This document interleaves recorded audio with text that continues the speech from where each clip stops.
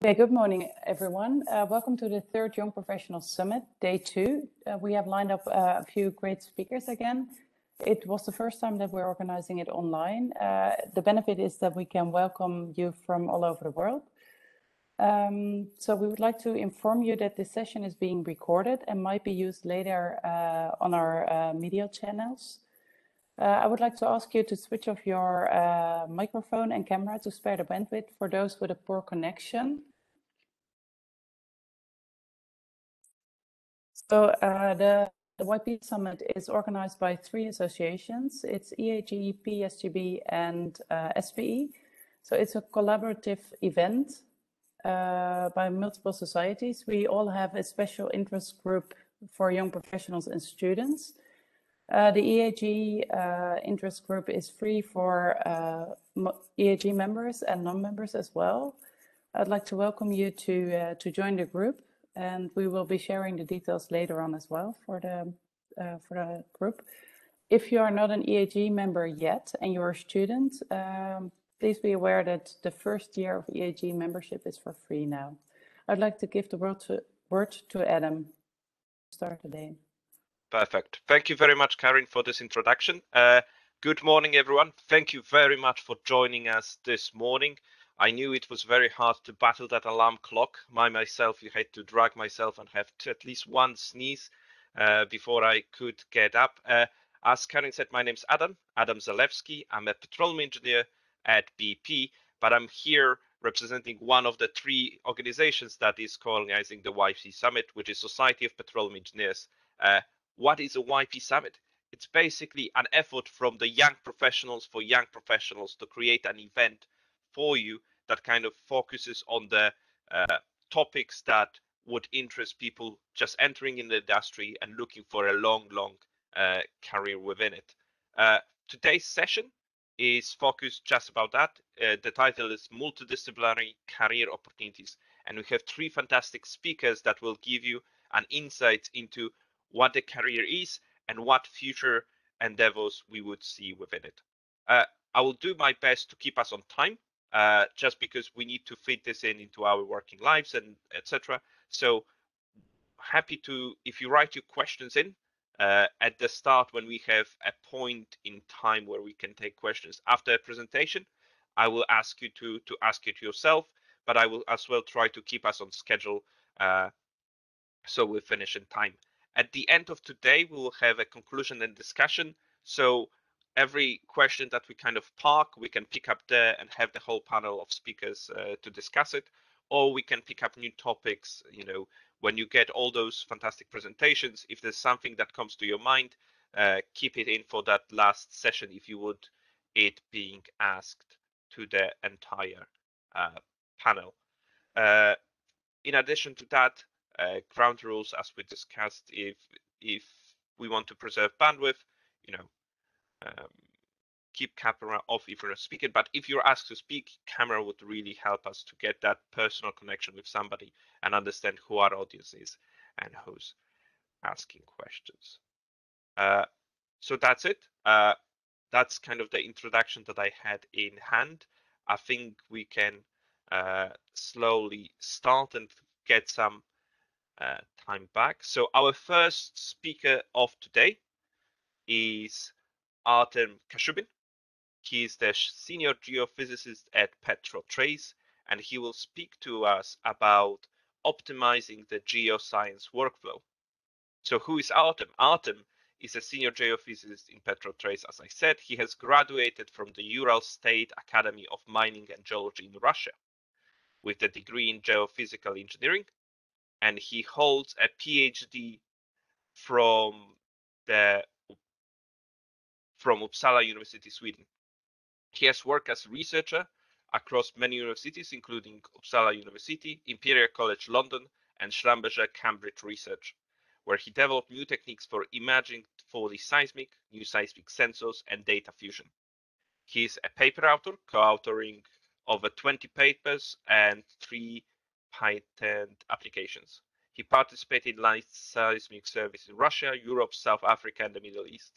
He processed commercial seismic data for industry and research institutions covering various geological environments.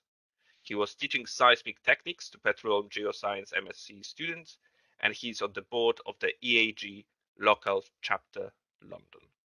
I would like to welcome Artem Kashubin to the stage to tell us more about optimizing the geoscience workflow. Thank you. Thank you, Adam. I'm sharing my slides now, but I will keep my camera off to preserve the bandwidth. Uh, can you please confirm if you can hear me well and if you can see my first slide? I can hear you well and I can see your first slide. Very good. Good morning, everyone, and welcome to the second day of the Young Professional Summit. My name is Artem Kashubin, and here on the title, you can see the list of my co-authors, which is David Kuria, Yuri Davydenko, Ivan Priezzhev. But uh, of course, the primary author and uh, the main driver of this work was Paul Veeken, who designed these slides for Amsterdam meeting scheduled for June 2020. That meeting was postponed to December last year, and the Young Professional session, which initially intended to be within this meeting, is ongoing just now, some 18 months later. Unfortunately, Paul passed away last summer, and this talk is a tribute to his initiative and to his legacy. Paul's prolific career is summarized in First Break article in October 2020 issue. I encourage you to read it. With this talk, we are extending Paul's legacy and bridging his career with yours, the new generation of young professionals. The extended version of this talk is published in First Break issue from June 2020. And if you want more details or references of this talk, please check it up. So it's called From Data Conditioning, Depth Imaging, and Reservoir Characterization to Machine Learning by Paul Veeken and co-authors. First break 2020. Now to the substance of this talk, a geoscience workflow. We are omitting the data acquisition part here Otherwise, the workflow may include the following steps. Data conditioning, depth imaging with various methods, non-seismic data, joint inversion of different data sets, reservoir characterization with conventional approaches like AVO and petrophysics, like quantitative inversion, and also new emerging artificial intelligence and machine learning methods. In the following slides, I will guide you through these steps. Health and safety first. Of course, it is more important during the fieldwork, but even at home, office, or during the party time, uh, your activities must always be carried out under most optimal safety conditions. Like in this picture, in the example of a nasty home safety fatality, a petanque ball occurred in barbecue and resulted in death of a 31-year-old man. Not in the field, not in the office. That happened during a very casual activity. So always remember the motto of any technical industry, safety first. Now, presuming you safely acquired your field data, first thing you do is quality control them, QC. Quality control and data conditioning is obligatory through the workflow. Amplitude preserved processing is required when reservoir characterization is the objective. Quality control is often carried out in different domains like time space domain, tau p, Fourier, can be curvelet or any other domain. The purpose is to make sure that we are starting from the valid input and checking the integrity of the data after every essential processing step. It is a valid statement to say that for all geophysical studies, your result can be only um, as good as your inputs. Always check your input data, make sure consistency is maintained. Do proper data conditioning, honor the modeling assumptions. Otherwise, there is a risk to get trash out if you put trash in. Depth imaging is quite essential part of seismic studies. Depth imaging or migration is a procedure that positions the process seismic reflection travel time dataset into its subsurface origin. In essence, it uh, converts data from the observational time domain to the image depth domain, if we're talking about depth imaging.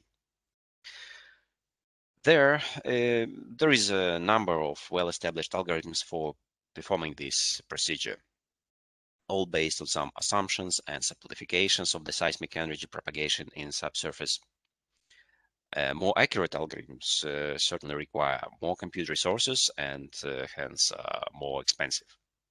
On the cheaper side of the range are ray tracing techniques of Kirchhoff and beam migrations, wave equation-based methods, including full waveform inversion or FWI, and the reverse time migration or RTM are significantly more expensive RTM permits better imaging in complex areas and is normally done for a limited frequency range. The higher the included frequencies, the more costly the computations are, but the higher the final resolution is. An advantage of the full waveform method is that it is able to predict and image all modalities of seismic energy present in the data. Um, these events like direct arrivals, guided waves, refracted diving waves, reflections, diffractions, they all can be modeled with this approach. Acoustic simplification or acoustic wave equation is not uh, taking into account elastic energy that can be widely presented in seismic data as shear or S waves. Uh, if we consider a more exact description of the world, and ruling out the acoustic simplification, and we can employ elastic wave propagation. So in this case, uh, we can model the shear and converted waves, converted energy, which converts from compressional to shear energy. As we can see in this example of synthetic data from the realistic 2D Marmousi model, both P and S wave velocities that are required for modeling are shown, and the elastodynamic full waveform modeling is able to simulate compressional, shear, and converted arrivals. On the ray tracing algorithms, choice of the imaging algorithm depends on geological objectives and acquisition parameters and your budget. In some cases, a conventional Kirchhoff image is good enough. So as an example here in the central panel, um, in some complex areas with uh, poorly defined reflections, we can use more sophisticated ways like this uh, common reflection angle migration or CRAM, which is carried out in a local angle domain. It's uh, one sort of uh, beam migration. This algorithm may provide better result as it enhances primary events and the result has better continuity of the reflections in the poorly uh, illuminated zones.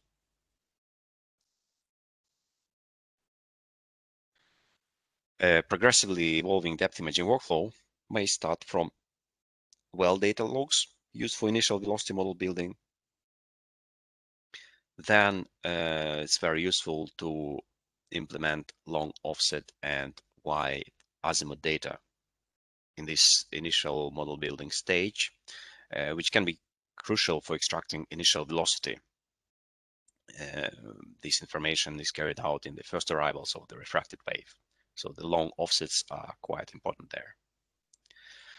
Uh, once the initial model is there, it is updated by reflection tomography with isotropic assumptions first.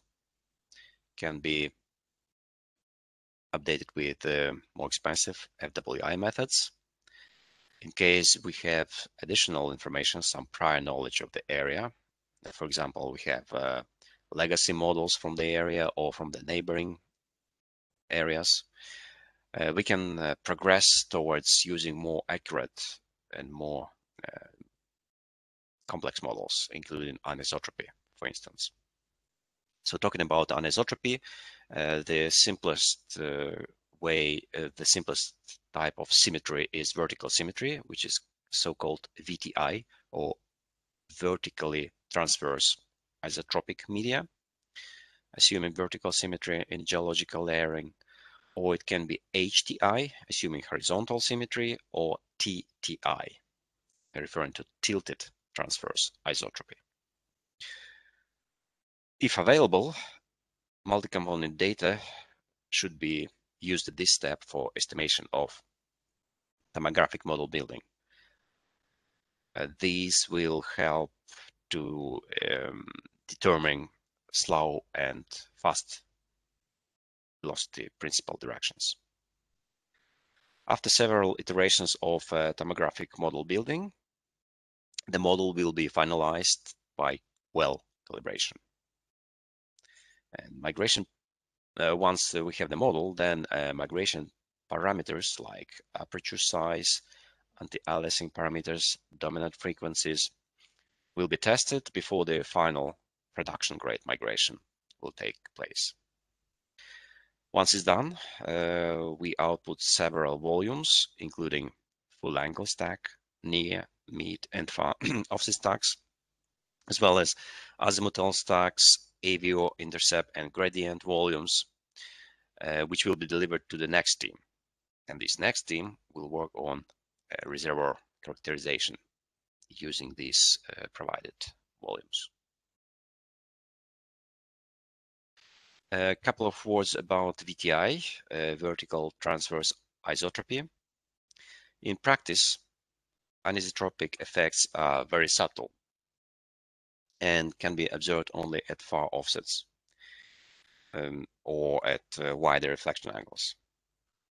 In this CDP gather, so here in the in the left panel, the near and uh, mid offsets are aligned well even before the anisotropic correction applied.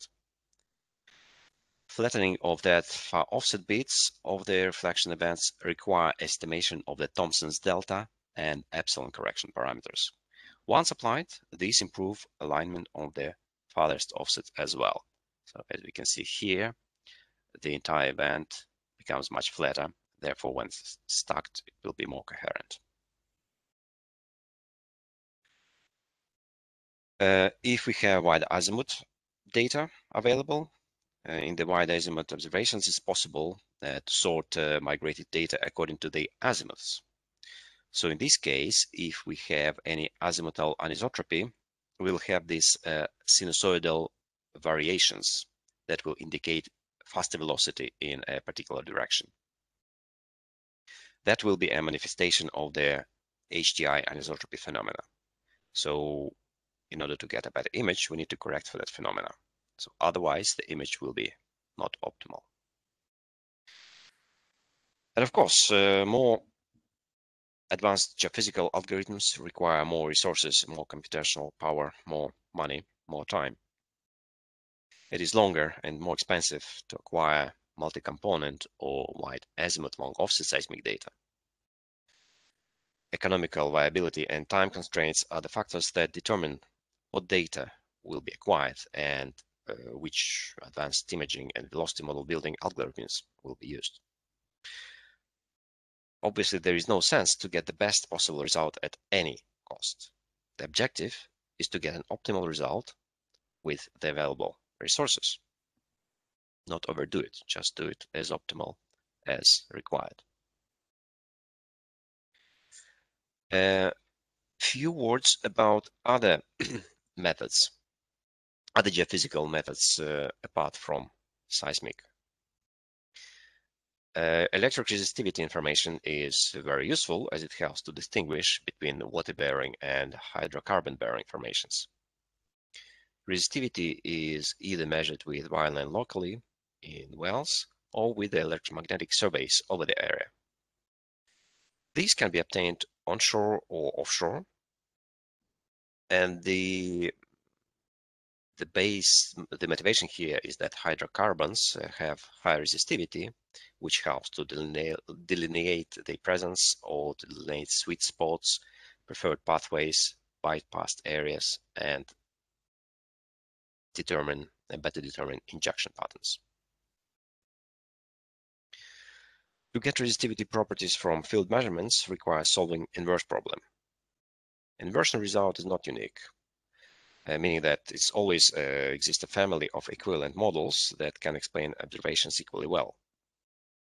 It's easy to obtain lateral location of anomalies while the depth is usually less constrained, as in this uh, simple synthetic example with the target object located at 300 meters depth in the in the shell case and at three kilometer depth in the deep case so the electromagnetic response looks identical.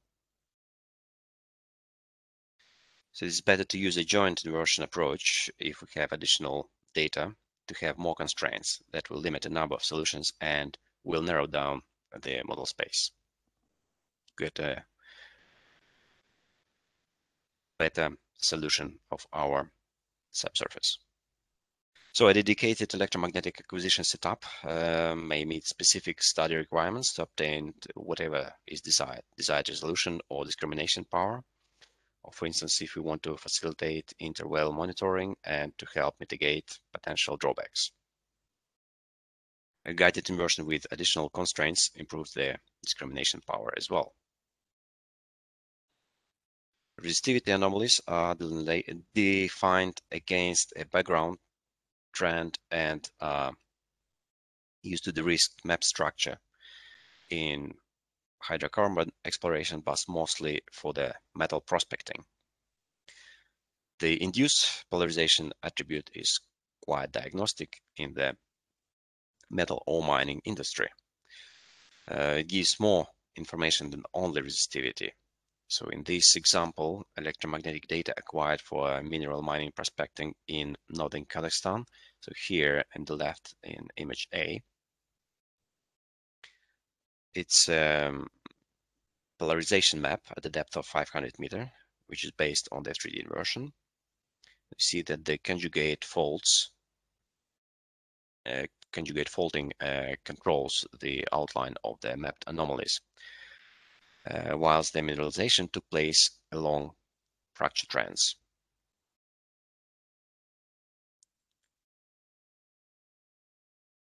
Uh, we know from the from the geological observation that the MN MN uh, 17 well reached the top of the anomaly and showed copper uh, molybdenum mineralization hosted by the shear zone.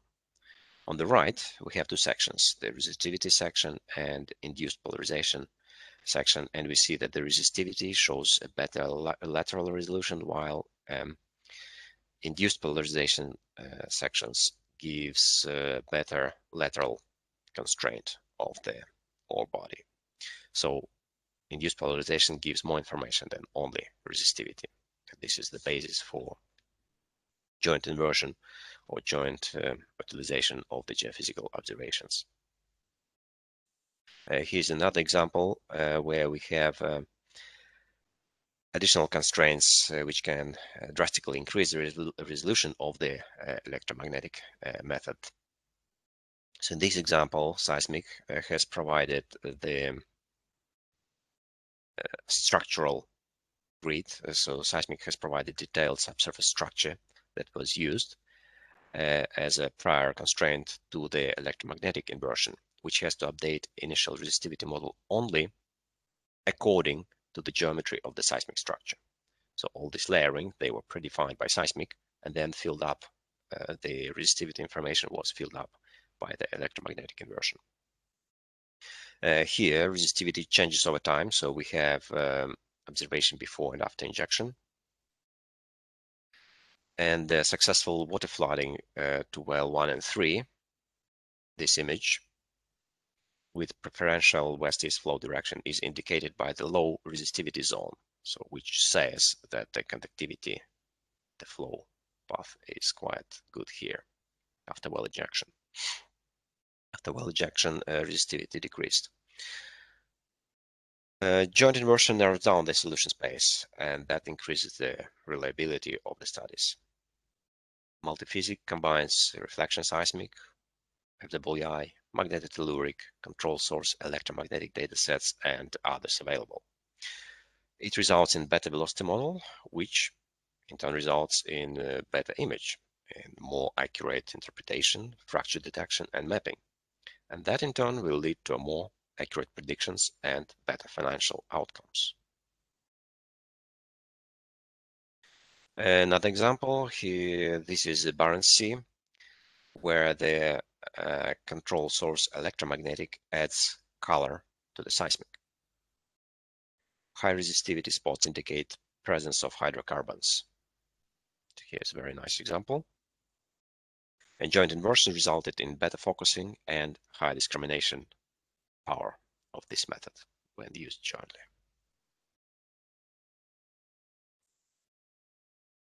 A few words on a reservoir characterization part. We have several techniques in the toolbox for reservoir characterization. Attribute analysis and spectral decomposition, analysis of P and S waves, impedance, anisotropy, eta, epsilon, delta parameters.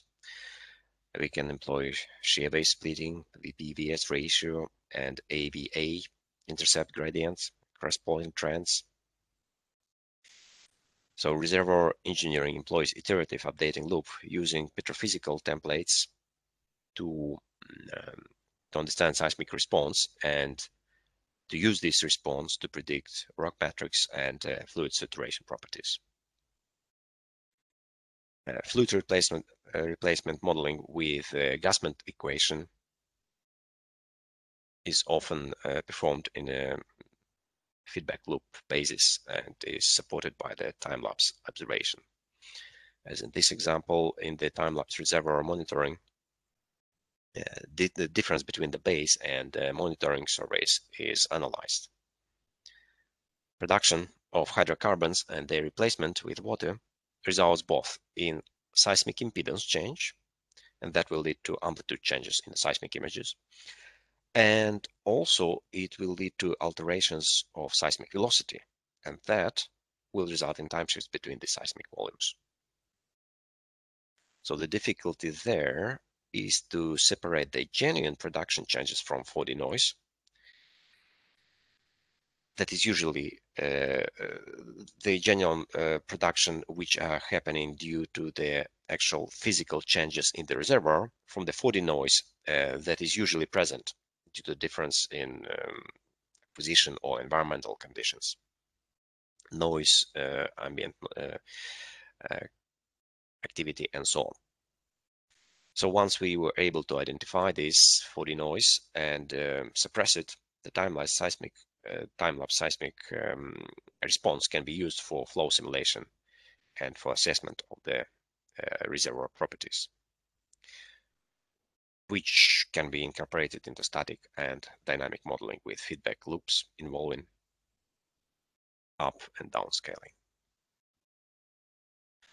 A few words on a new, relatively new uh, neural network and uh, artificial intelligence methods.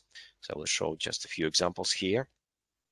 Uh, machine learning and uh, nonlinear correlation methods uh, have a great potential for subsurface resource evaluation. A new computing technology allows big data to be analyzed in a convenient way. Nonlinear correlation techniques allow for better fit between observed and model data.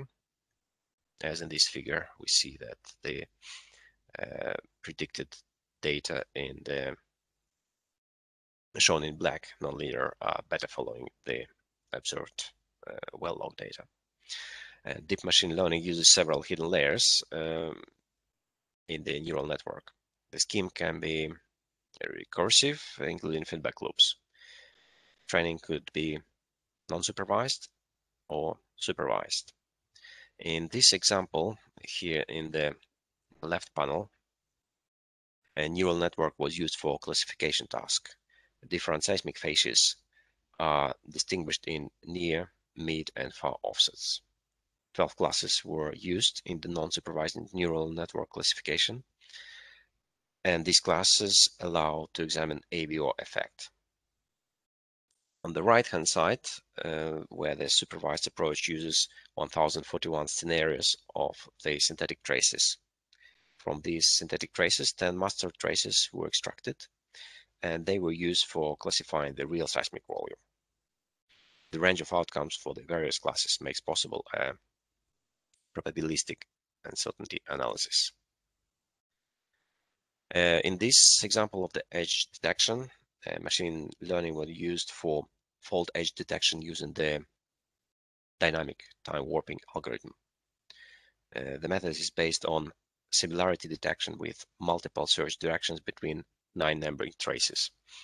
So uh, in contrast to the Euclidean orthogonal search, which is one-to-one -one match, this uh, dynamic time warping um, accounting for the neighboring locations in the vicinity of the point of interest. And this uh, was facilitated by the machine learning algorithms after training on the synthetic examples. So this uh, dynamic time warping attribute cube uh, was created and then it was fed into the standard ANT uh, tracking algorithm to improve the uh, trackability of the discontinuities. In the right image here, the, the delineation of the fractures is better than uh, in the left, which uh, in the left one, uh, that is based on the conventional variance attribute. And these results were checked by blind well control. And these were successful as the delineated fractures observed in their wells, uh, exactly where they were confirmed by the logs and by the, the core samples. And these were the few examples of using these uh, new machine learning technologies and uh, concluding the talk on integrated approach with iterative updating of the reservoir. Uh, I can summarize that optimizing the workflow uh, requires an integrated multidisciplinary effort. Quantitative interpretation is only possible with an amplitude preserved seismic processing sequence. The velocity attribute can be a valuable asset for the interpreter, and if possible, it's recommended to use full waveform inversion modeling because it accounts for more accuracy and uh, more geological heterogeneities. Uh, migration should incorporate anisotropy effects, even when possible when the dips are small. And interpretation is best done on the depth imaging outputs as artifact and distortions are less there in comparison, in contrast to the time domain. Pre-stack amplitude versus offset or amplitude versus angle attributes and simultaneous inversion is done for reservoir characterization. So we can use cross-plotting and petrophysical templates, uh, which gives a better understanding of seismic uh, response and influence of uh, various parameters. And attribute analysis helps with uh, facies delineation and uh, geobody identification and delineation, which is useful for 3D visualization and geological interpretation uh, interaction between the static and dynamic earth model in comparison iterative feedback loop. So all this workflow is even thought that here it is pictured as linear. We need to remember that there is no perfectness and it is an iterative process with a feedback loop implemented. If we have multi-component data sets, it will help to predict fractures and uh, principal directions of the fast and slow velocity directions, which also in turn will uh, help us uh, on interpreting geological um, tectonic uh, settings and geological history of the area. And now uh, the nonlinear correlation and powerful option. Now, when we have these neural network systems available to us to crunch through the big data, which are calling for efficient computing handling in real time. This data contributes as a new tools in our toolbox for reservoir characterization and are getting more and more available to the community. So of course, this workflow is not exhaustive, and uh, the more you want to add to the workflow, the more costly it gets, but the long-term gain should be rewarding. So, and that's the conclusion of my talk. So at the end, I would like to thank you for your attention, and uh, I would like to acknowledge my colleagues at Wintershall Dea, PetroTrace, Galias LLC, and GeoPS Consultancy for their cooperation. Uh, big thanks to my colleagues, and without their support, this project would not be materialized. And I'm telling this on behalf of Paul Veeken, who was with us till last year and who inspired and uh, initiated this talk. Uh, thank you very much for your attention, and I'm ready to answer questions, if any. Thank you very much, Artem, for this presentation. I think we have time for one question, and we can park the rest till the at the end of the session. Is there any question from the audience? If you could type it into chat, or you could uh, raise your hand and then unmute yourself. Take one question.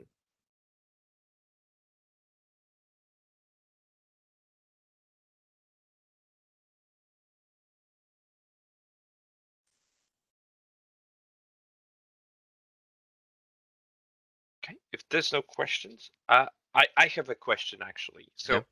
At the start of your presentation, you said that th- that there's important part of choosing the right algorithm for the job.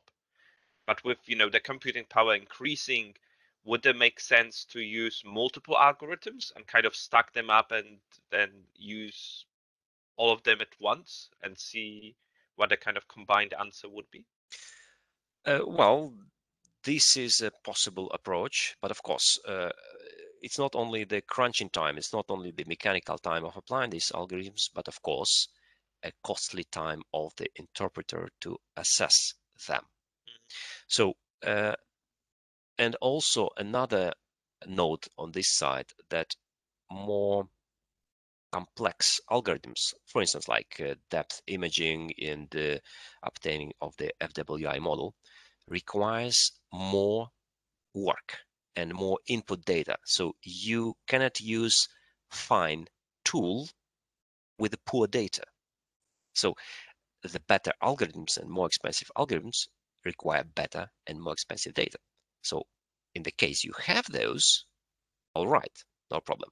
But in the case you have a limited data quality or like limited azimuths or you don't have multi-component data and so on and so forth, it is more practical to get kind of to progressively evolve your project from a simpler uh, algorithms which are more forgiving and based on the more simplifications in order to get some basic result first analyze it and then progressively increase complexity rather than to throw everything at once to different algorithms so this is my view Brilliant. Thank you very much. For for for me, I the big highlight is that not you need different data for different algorithms. So you have a cost up up front that you have to decide to spend or not. yeah Thank you, Artem. For me, for me, I'm not from geophysics, so that's kind of uh, enlightening. All right. Thank you very much, Artem. So it's 45 past, so we are ready to start with our next uh, presentation. Uh, the next presenter would be Paolo Del Avesana. He is a senior geophysicist and project manager at ENI, uh, Upstream and Technical Services. And what Paolo would speak to us about is cross-disciplinary machine learning. So Paolo has graduated in geology in 1988 and physics in 1996 at Naples University. Furthermore, he studied philosophy at Rome University. He has more than three decades of experience in geology and geophysics, including 25 years in the hydrocarbon industry. Since 2002, Paolo is senior geophysicist and project manager at ENI, Upstream Technical Services. He is an expert in integrated geophysical methods and in data science. Since 2014, Paolo is an international lecturer. He visited the most prestigious universities around the world for a lecture tour about integrated geophysics.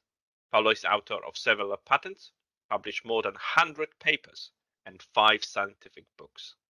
In 2018, Paolo has received the ENI Award as a recognition for the best technological innovation of the year.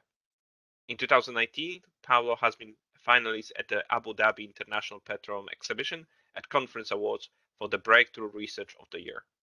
In addition to physics and geosciences, Paolo has many other cultural interests, including visual arts, sound engineering, music, epistemology, artificial intelligence, applied mathematics, neurosciences, and much more.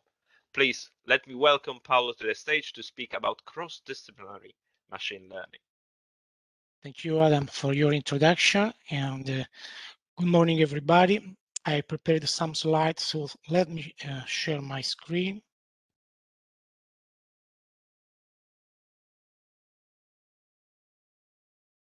Okay, let me know if you can see it properly.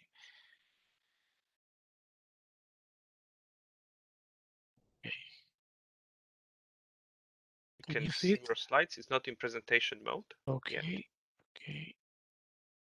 Now it should be in. Fantastic. That should work. Okay, good. Uh, so um, today I'm going to talk about cross-disciplinary machine learning, and uh, this is the agenda, the outline of my talk. After a brief introduction, I will explain the motivations of this presentation, and I will go uh, through a quick introduction about machine learning uh, using uh, a couple of simple automatic classification examples.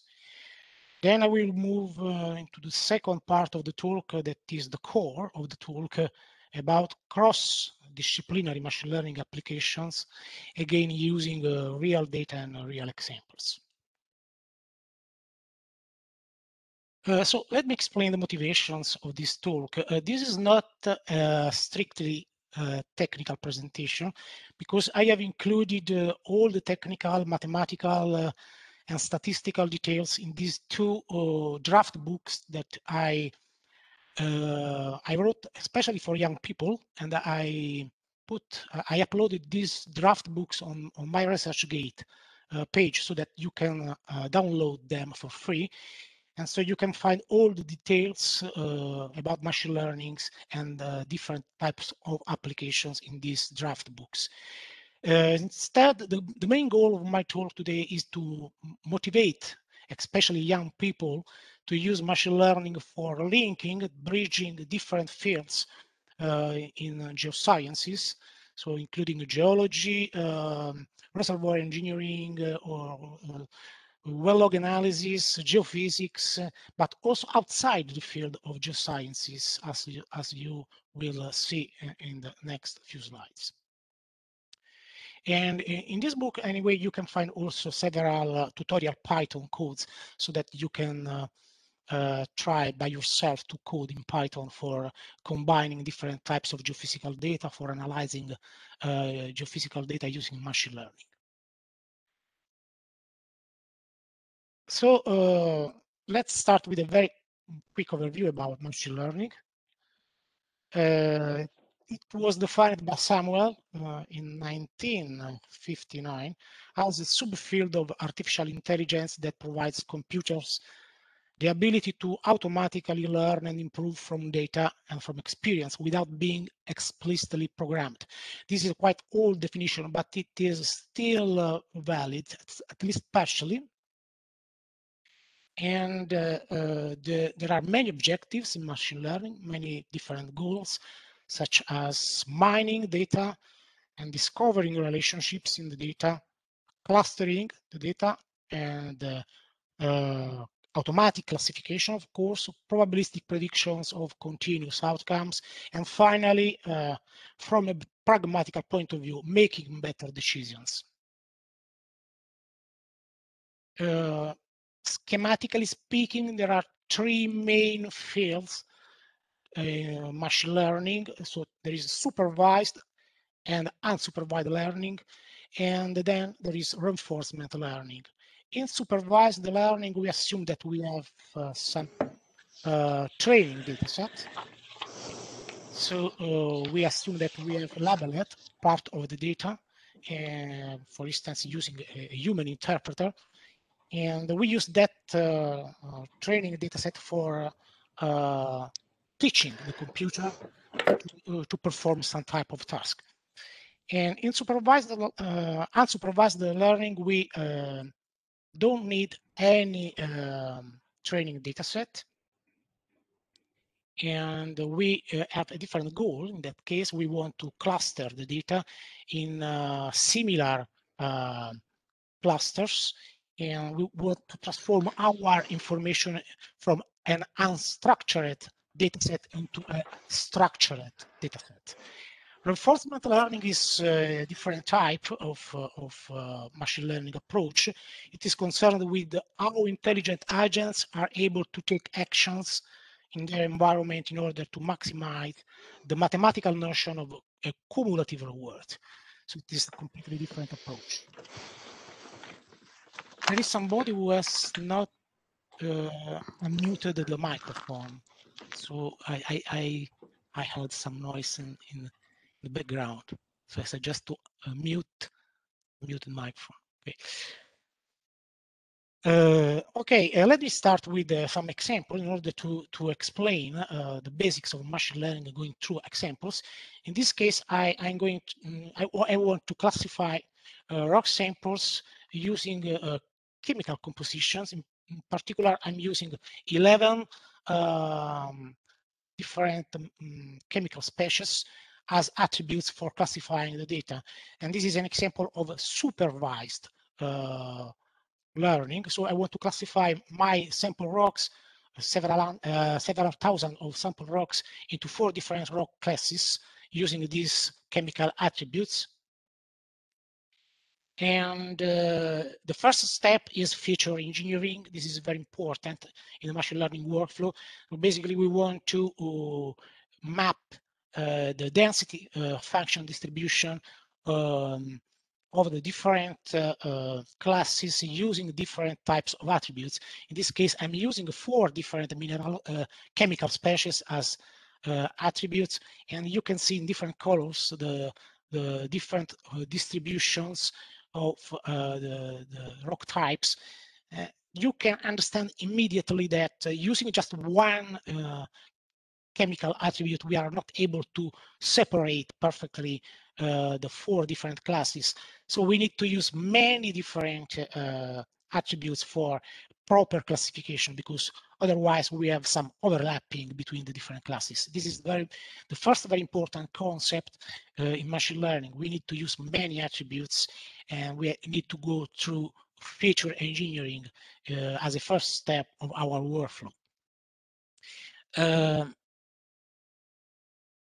the second important concept is that we, sorry, we need to use simultaneously more than one method uh, for classifying the data. In this case, I'm using uh, uh in my platform, uh, my machine learning platform here, I'm using six different classifiers, adaptive boosting, uh, decision tree, random forest, and so forth, in order to have uh, at least uh, five or six classification results to be compared with each other uh, in order to verify the reliability of the final classification process.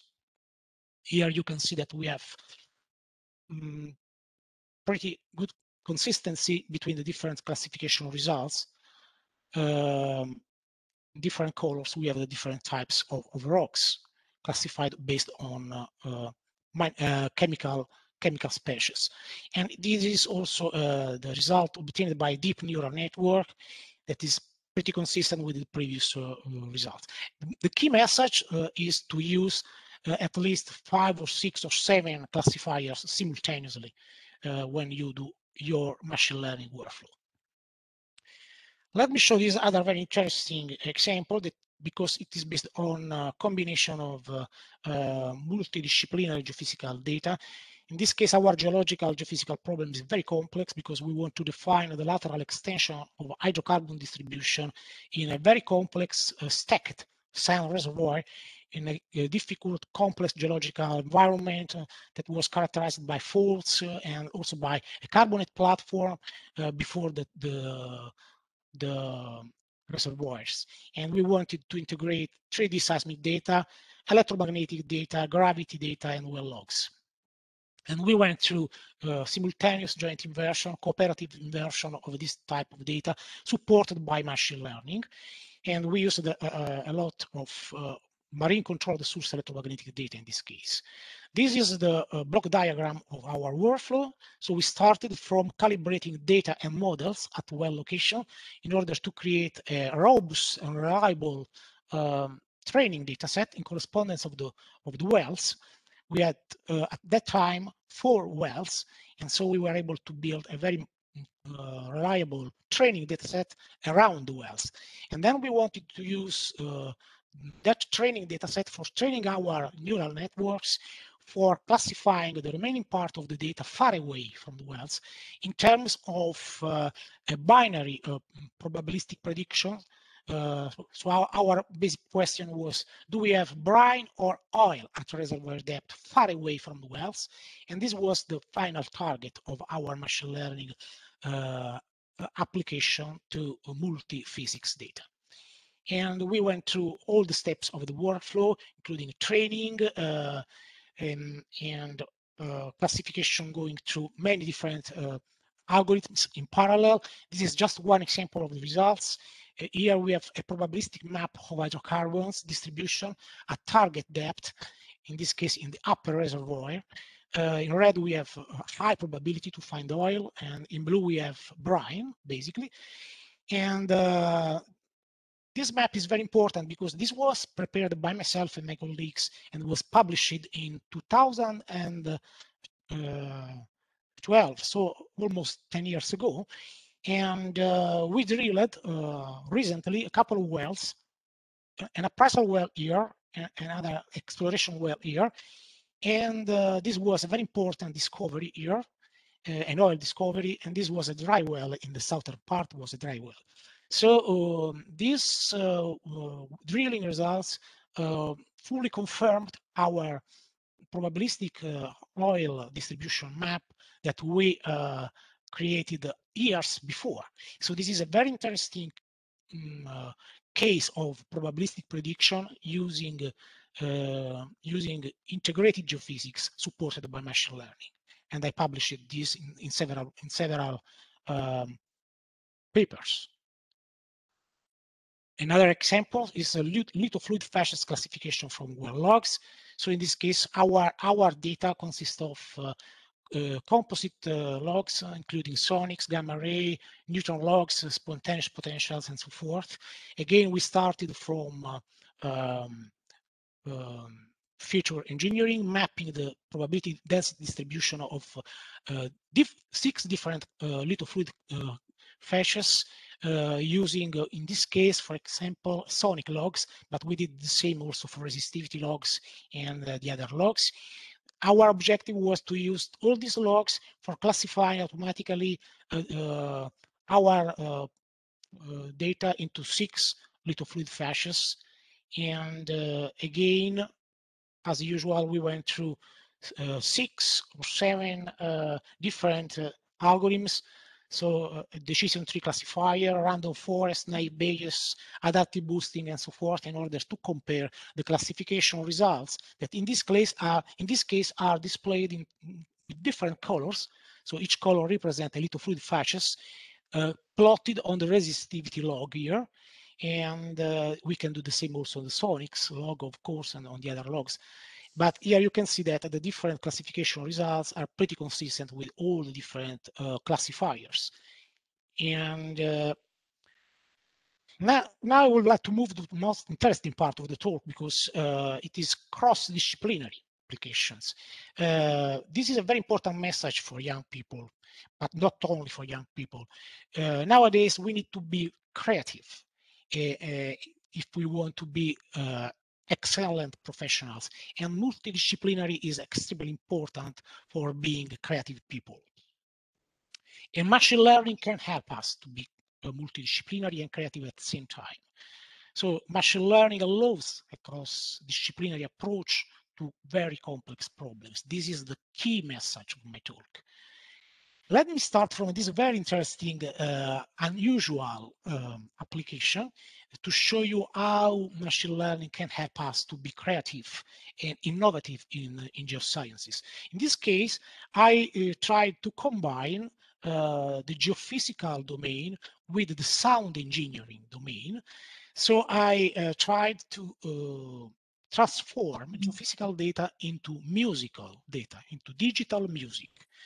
Um, and then I used the, the MIDI uh, musical attributes uh, in the machine learning workflow for classifying geophysical data.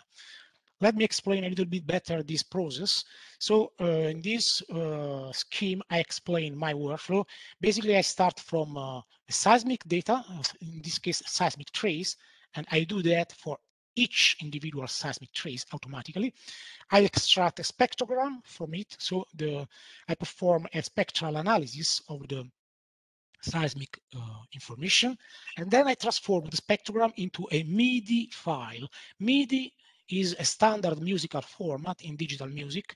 MIDI means musical instrument digital interface. And after doing that, I can upload my MIDI uh, seismic trace into a sequencer, a virtual musical studio, and I can play it. So you can listen to the sounds of the seismic trace transformed into a MIDI file. You can find uh, many examples like this on my YouTube uh, channel. And this is very important because after doing that, we can uh, basically we can uh, extract MIDI attributes and we can use about uh, 100 MIDI musical attributes for classifying the seismic data in a completely different new way.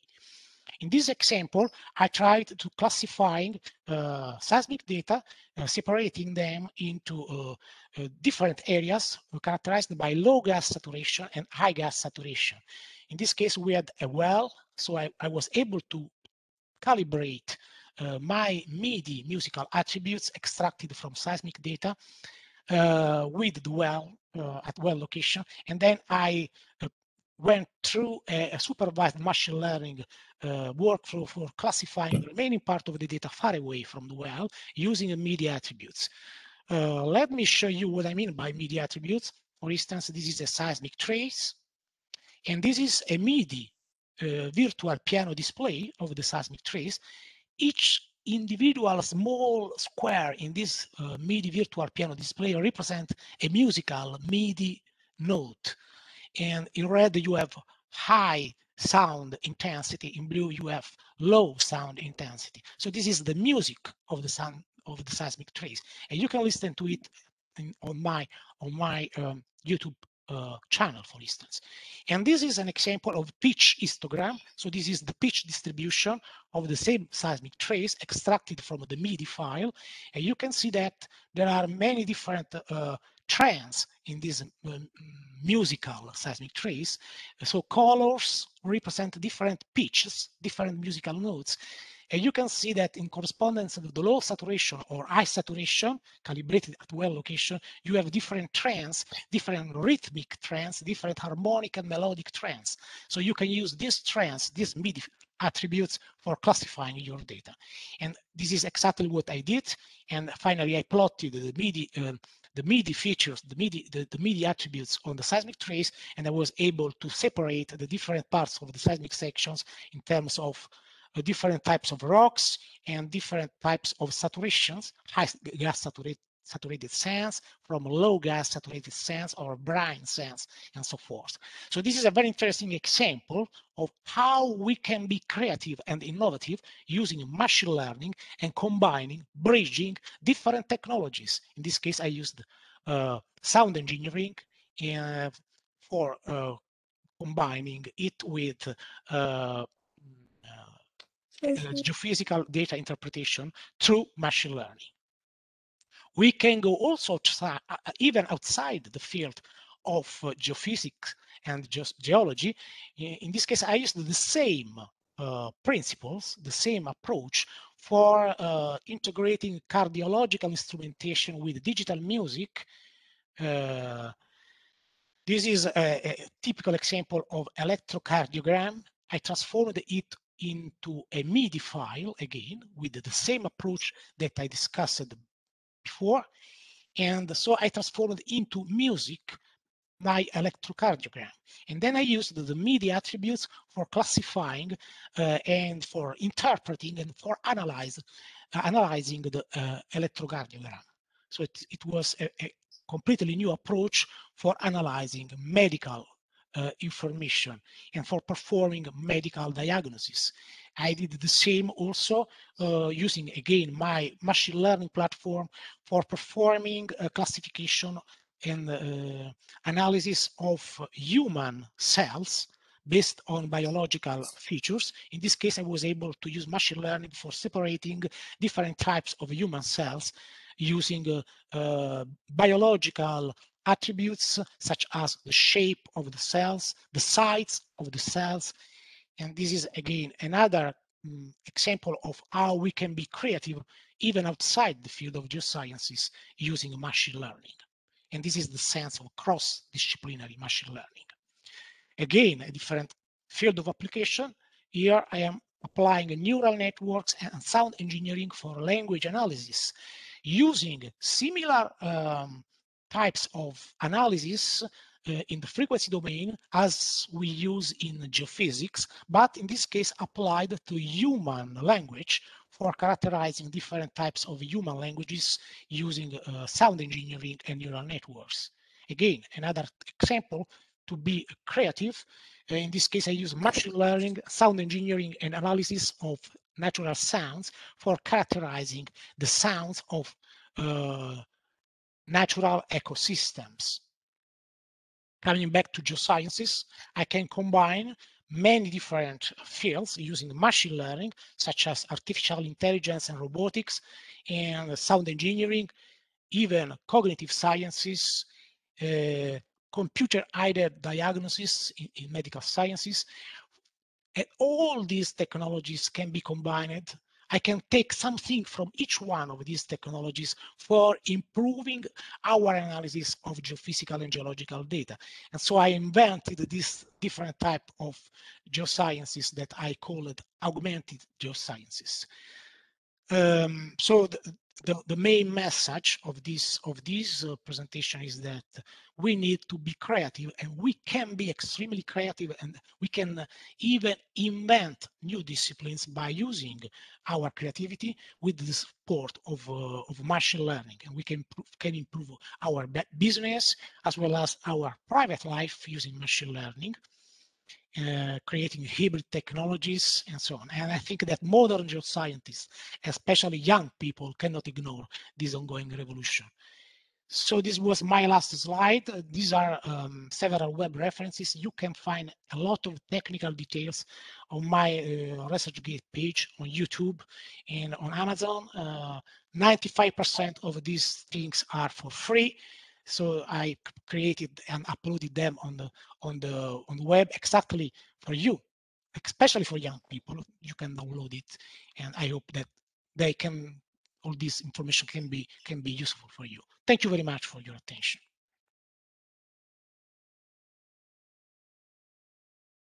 Thank you very much, Paolo, for this presentation. Very enlightening uh, and interesting. Uh, please, if you have any questions, type them into chat or, or raise your hand and we'll be happy to hear it. Uh, you know, it would be great to, to, to see uh, what questions the audience may have.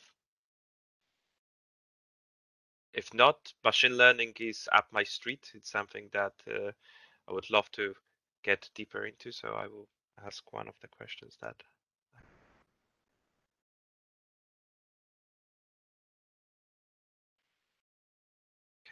there's no questions from the audience. Paolo, I, yeah, Artem, go ahead. Yeah, I didn't want to uh, torpedo uh, young professionals. And just if there is no question, probably I can ask uh, a quick one. Uh, th thank you very much, uh, Paolo, for uh, for a very interesting presentation. And I was impressed by the number of different methods you were using, like this random forest, naive Bayes, um, Bayes, um, neural networks and so on. So I was kind of um, intrigued, like do you have an army of experts who are running each method for you or how how can you do that uh, different methods? And how do you know which method is appropriate for your data? Oh yes uh, uh, I, like to to code in python and uh, you know that python is extremely helpful for this purpose and uh, I, I, was able to create uh, my own machine learning platform, including uh, many Python uh, libraries in my platform and uh, using Python itself for linking all these uh, um, algorithms all together with each other in the same platform. It is not very easy but not very complicated at the same time if you if you uh, know python because python is very um, relatively easy to use. And so using python i was able to create a very complex platform working in about one year. In one year i was I created a platform including uh, about 10 methods that can run in parallel.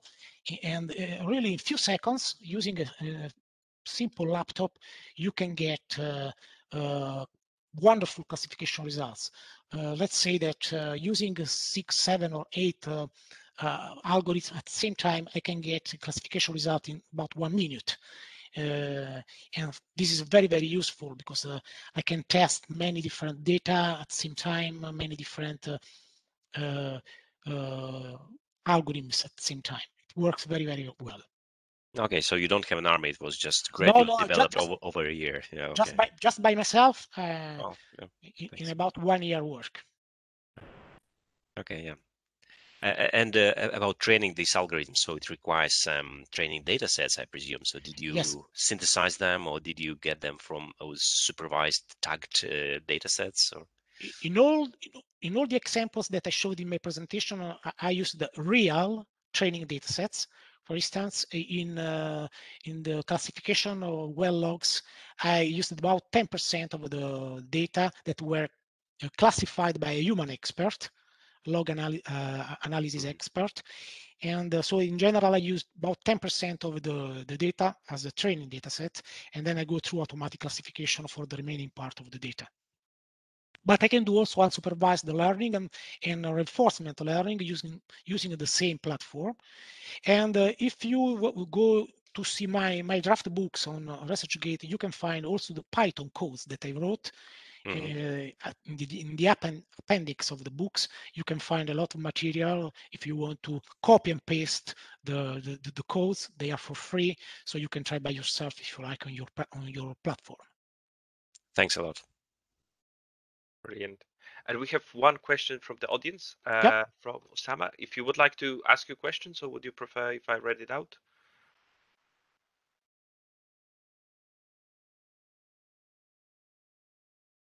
I, I think the question is about would you recommend somebody to take a full university degree to learn how to be a machine learning specialist, or would doing online courses on Coursera or online be enough in your experience?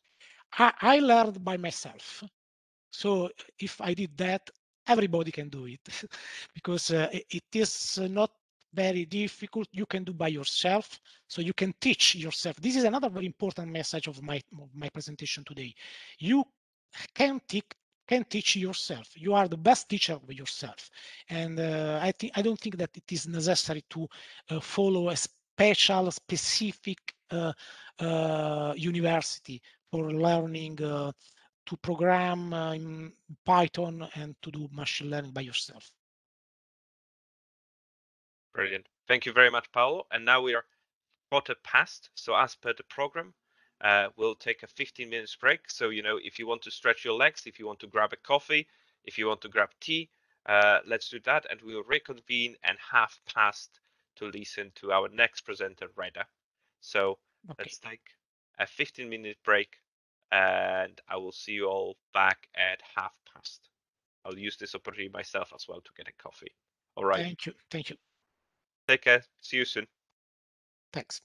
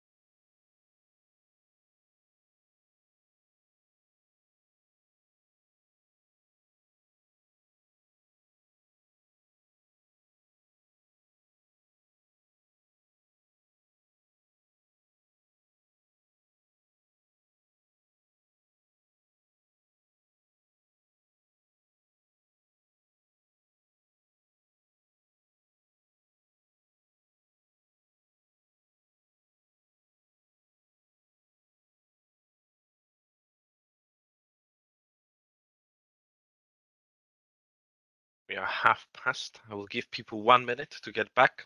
I've managed to get my coffee. Hope everybody managed to get something out of the break.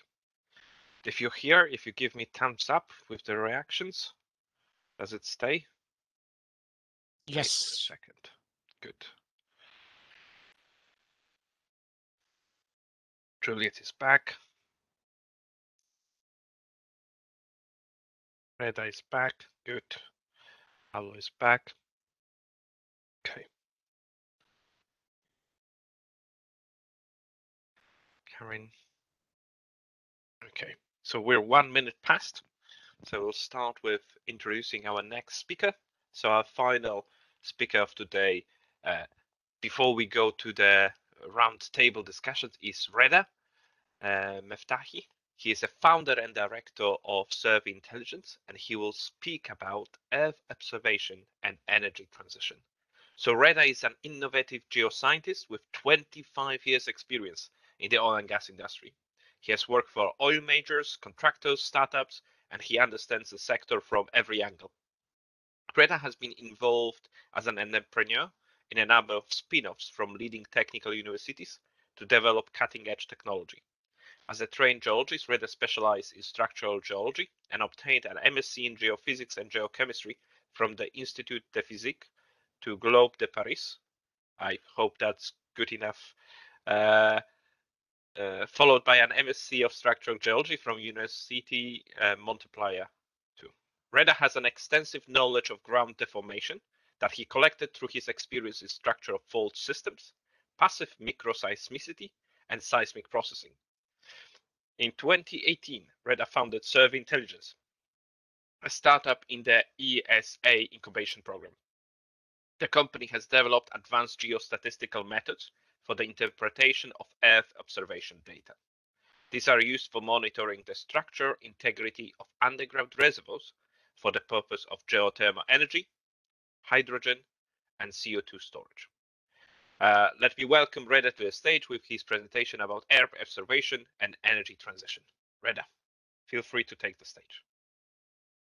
Thank you, Adam, for this introduction. And hello, everyone. So I will share my screen now.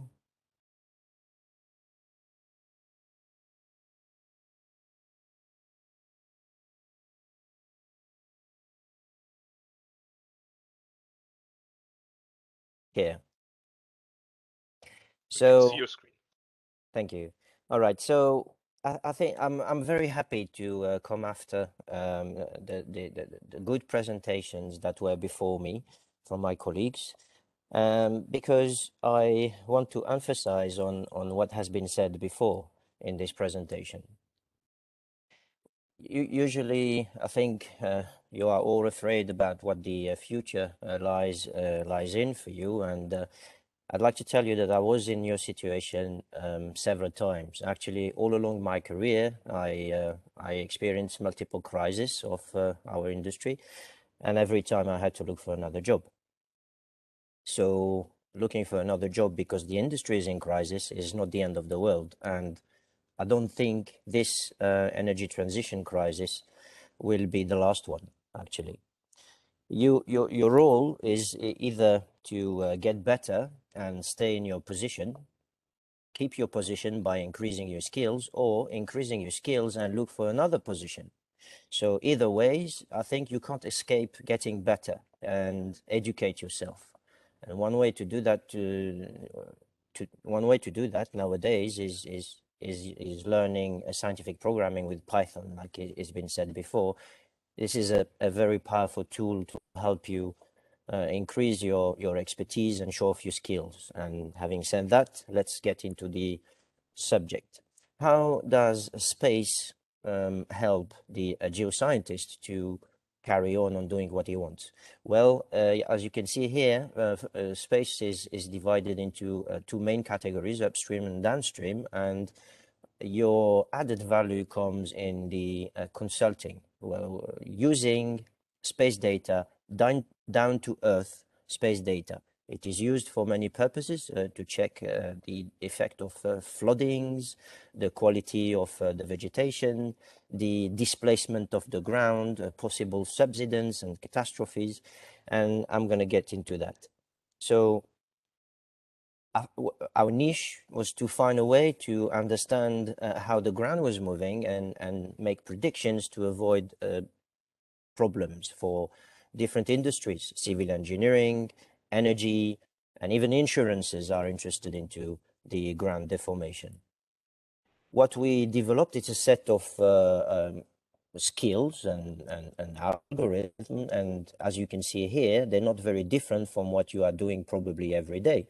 You uh, play with data, you have to condition this data, you have to quality control this data, it's signal processing mainly, you apply your uh, data analytics and model fitting skills. You um, evaluate some uh, attributes. In, in this case, it's a stress analysis and estima estimating the deformation. And you will have to do some predictions. So you use um, advanced statistics, uh, neural network, uh, AI, machine learning to predict what people want to know. And uh, this, this is what you do. Well, how space is could be interesting for a geoscientist or in the energy uh, domain because we can decompose this uh, information coming from the surface into vertical horizontal components. We can see um, we have to increase spatial resolution. We have to uh, make that signal um, better for interpretation. We have to do predictions as i said. And we face a challenge nowadays. Uh, this is the main reason why the industry is, is in a bit of a turmoil. Uh, it's not very nice to say that we work in the oil extraction anymore. And I think, as you can see here, that um, we face a lot of uh, challenges at the surface of the earth because of this uh, climate change. There's a lot of uh, ground deformation, flooding and uh, dry seasons that we compact the uh, geological layers, which we'll call subsidence. And there are earthquakes because um, the operation, the subsurface operations of, of operating a reservoir structure, well, can create a lot of uh, overpressure, can create a lot of uh, cycle uh, deformation.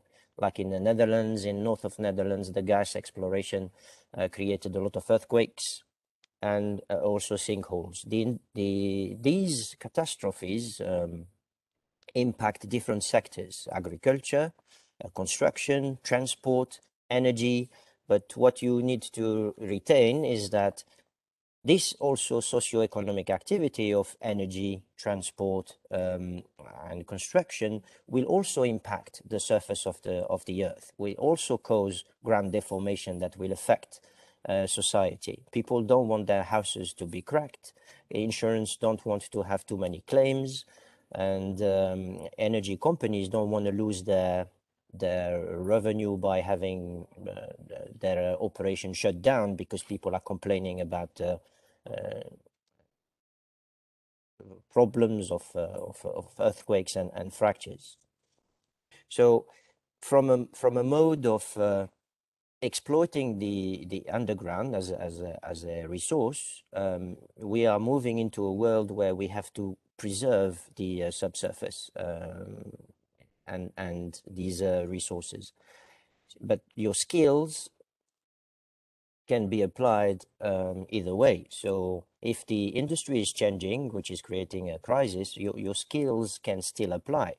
Now, we talk about the energy transition and the storage of energy underground. We talk about uh, salt caverns, we talk about aquifers, we talk about depleted reservoirs, we talk about geothermal energy uh, to produce either heat or, or, cold.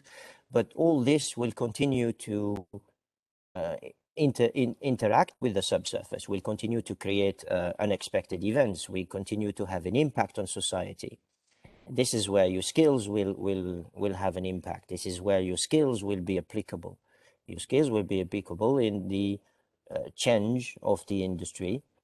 And it's not really a problem but it's an opportunity for you actually to um, to to position yourself This is what I believe. And uh, new problems will occur. As I said, uh, pollution of aquifer, uh, unwanted migration of, of fluids underground or subsidence created by any interference with the, um, with the environment. Now,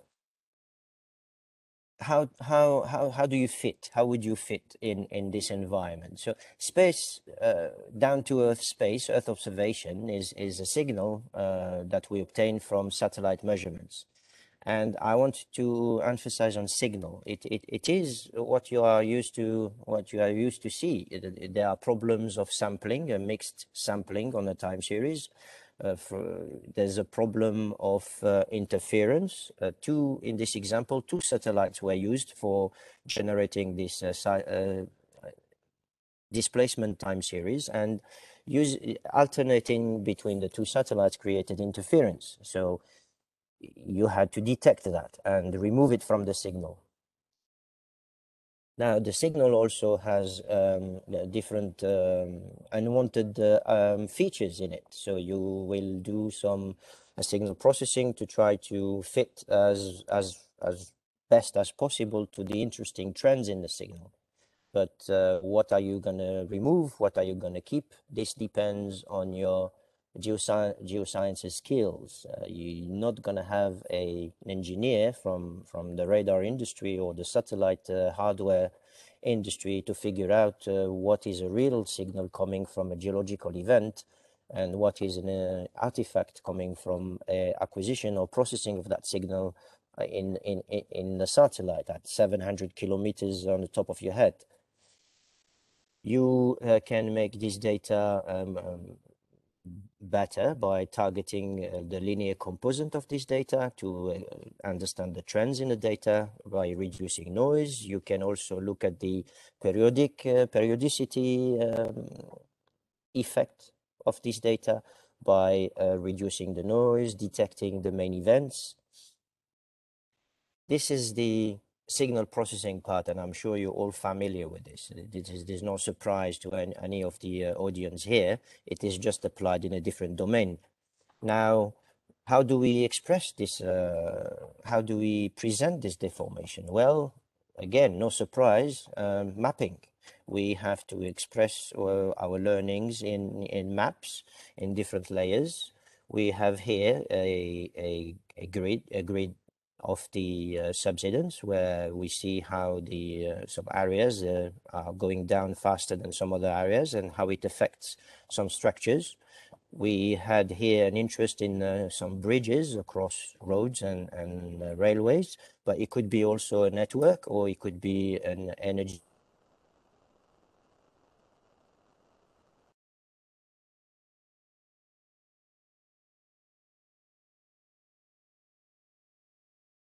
we lost you for a second right there.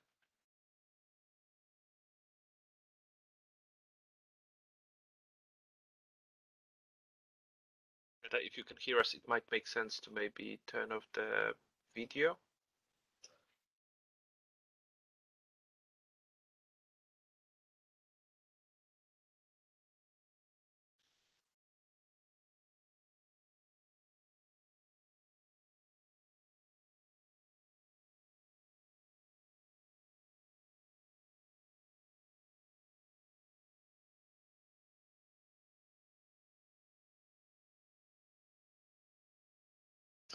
Red a few seconds to come back.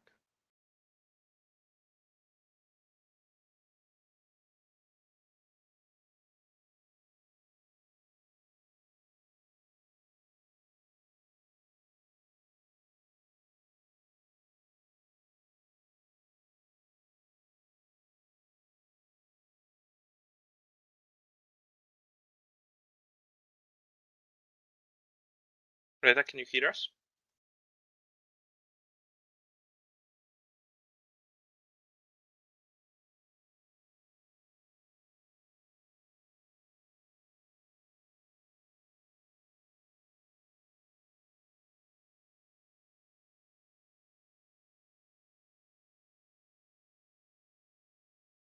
Reda, perhaps can you disconnect and connect again?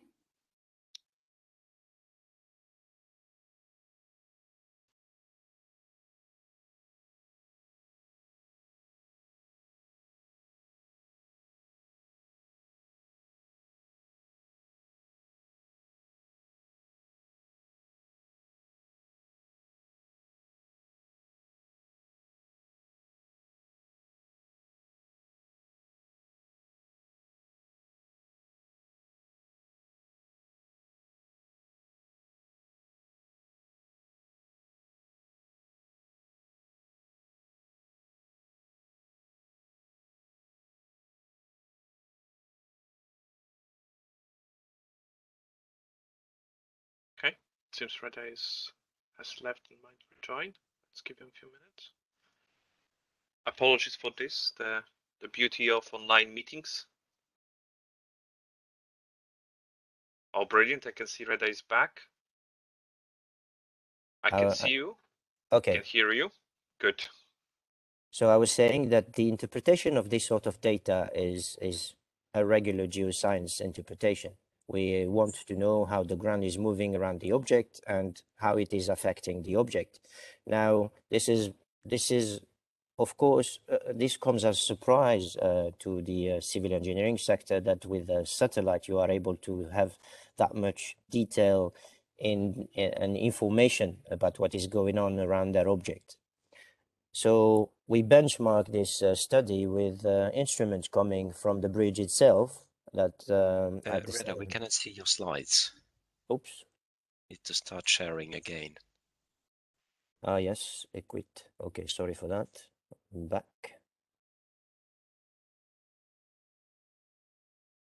Yeah. Is it okay now? Yes, thank you. We can see it now. All right. Yes, I was saying you benchmark this study with instruments coming from the bridge itself, and you can see that uh, there is a, a strong compliance be between the satellite interpretation and the uh, displacement and deformation on the bridge. This bridge was experimenting structural failure, and it's not it's not enough to look at the bridge and uh, try to understand what is happening. This is just looking at symptoms. But if you want to know the cause of this deformation, you need to study the surrounding. So the interaction between the measurement on the bridge and the knowledge acquired with the satellite gives a, a good picture of uh, what is happening. I wanted to uh, say that um, ESA, the European Space Agency, Space Solutions, uh, more and more is um, interesting in the downstream application of uh, satellite data. They realize that uh, the collection of this of, of a lot of data coming from recent uh, satellite launches can have an application in different domain down to earth and they created a lot of um, uh, incubators around Europe, around the world, in order to stimulate the innovation in uh, in in this domain and in the application of this uh, satellite data. These are a few numbers uh, giving you an idea about how effective it is. But s- space is just one um, one domain where you change industry, but you use your skills as a geoscient as geoscientist to express your, your, your expertise and help resolve a challenge. I think that the, the, uh, the, the, the most important message of my talk is, is that you, you have to look at the challenge that uh, the society and the industry is facing today. When you are afraid of uh, changing your position, you have to remember that your company or your industry is having the same fear. It has to adapt to a crisis, it has to uh, survive a crisis, and it it focuses its attention into their challenges, not into keeping their uh, their uh, their task force or or um, or making sure that their employees are happy. They focus on the business side of things and they want to reposition themselves to survive. You have to think this way as well and either show how you could help your industry or your company to overcome these challenges by thinking uh, about the problems the new problems and how to say how to help or how to do that uh, with a proxy uh, how to transfer your skills to a different industry that would suffer the same challenge that your industry is suffering. When I, I I would recommend to pick your challenge, understand how you could apply your skills, and all you had to do then is to figure out how you will help your employer. And I said in the beginning that I, I could see a lot of opportunities in this uh, energy transition and all these uh, challenges we're facing here because this is a, a, a very good potential for creativity and innovation. But uh, I want I want to emphasize as well that uh, a crisis is not the end of the world. You can build up a, car- a career around uh, several crises. It's uh, it's just a new beginning, and you shouldn't be afraid about a new beginning because it will bring you a lot of very interesting new development in a career. Thank you for your attention. I think I, I don't know how I'm doing with the time, but uh, I've reached the end of the uh, presentation. Perfect. Thank you very much, Reda. So we have uh, we can start a question session. Uh, for Reda, are there any specific questions about Reda presentation? And thank you very much. That was really enlightening. I like your comment about treating it like a crisis as a as an opportunity, uh, than something to to worry about uh, too much. any questions from the audience?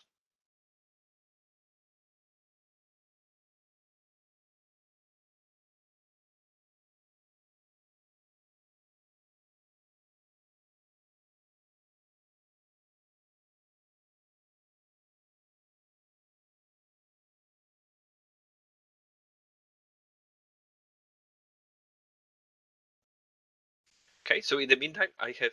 Oh, Artem has a question. Yeah, I will, if, if no one has a question, I I, I wonder uh, about the accuracy of these uh, subsidence data examples which you showed and availability for, let's say, for the UK. If I can find this data for my area, and how precise, uh, how accurate this data might be. Yes, I think um, first we have to make a, a distinction between precision and accuracy the uh, precision is a bit scary uh, when you realize that you can see about millimeter displacement. The uh, the uh, displacement we could see in this example uh, that was uh, performed with the Dutch Ministry of Infrastructure was about five millimeters per year to create the structural damage on the on the on the bridge. Mm -hmm. And the satellite was able to pick up this relative displacement uh, of a millimeter precision. Now, concerning the accuracy, you uh, have to calibrate your data with some measurements on the ground to have um, something closer to the absolute measurement. And then you can reach a, an accuracy into the same, the same order between millimeters and centimeters, depending on the resolution of the satellite. So accuracy comes after heavy processing, heavy interpretation of that signal. And you can only estimate how accurate you are by benchmarking with uh, in situ measurement. But okay, in all best possible technologies and with everything, if everything is set up and processed correctly, we are talking about millimeters or millimeters a year. Yes. Yeah. And what about availability? Can I or someone else go to somewhere to the site or to the uh, to the internet and find this kind of data for my house, let's say my property, uh, my street, my city? There is, I don't know about the UK, but uh, more and more. So the uh, European Space Agency, ESA, is uh, through a Copernicus program, is trying to make this data available. A lot of countries are starting to acquire this data and process this data and make it freely available in, in, for the entire country. Germany does that. Netherlands does that. I think Denmark or Sweden are doing this. Uh, the UK is, I think, thinking about it, but uh, mm. not yet implemented. Otherwise, you go into the commercial application where you have to purchase the images from satellite providers. Yeah. Okay. Thanks. Are there any other data sets that would be available? So I remember we had a drunk conversation in a pub, you know, thinking about buying houses in London and seeing how, for example, the water levels are rising currently. You know, what the Thames level. Are there other data sets that would be available through, uh, you know, image uh, from satellites and and commercial applications for people to kind of look at investment properties or long-term insurance? Yes, absolutely. I mean, ESA and the Copernicus program is is are the keywords. You you have to Google that and, and discover that they have portals where they they they make um, optical images available, uh, radar images available, and you could uh, you could you could build up your own uh, time series uh, from the uh, time you are interested in or the area you're interested in and, and download the pictures. So you, you could have access to this data and already have a pretty good idea of what's, go, what's going on.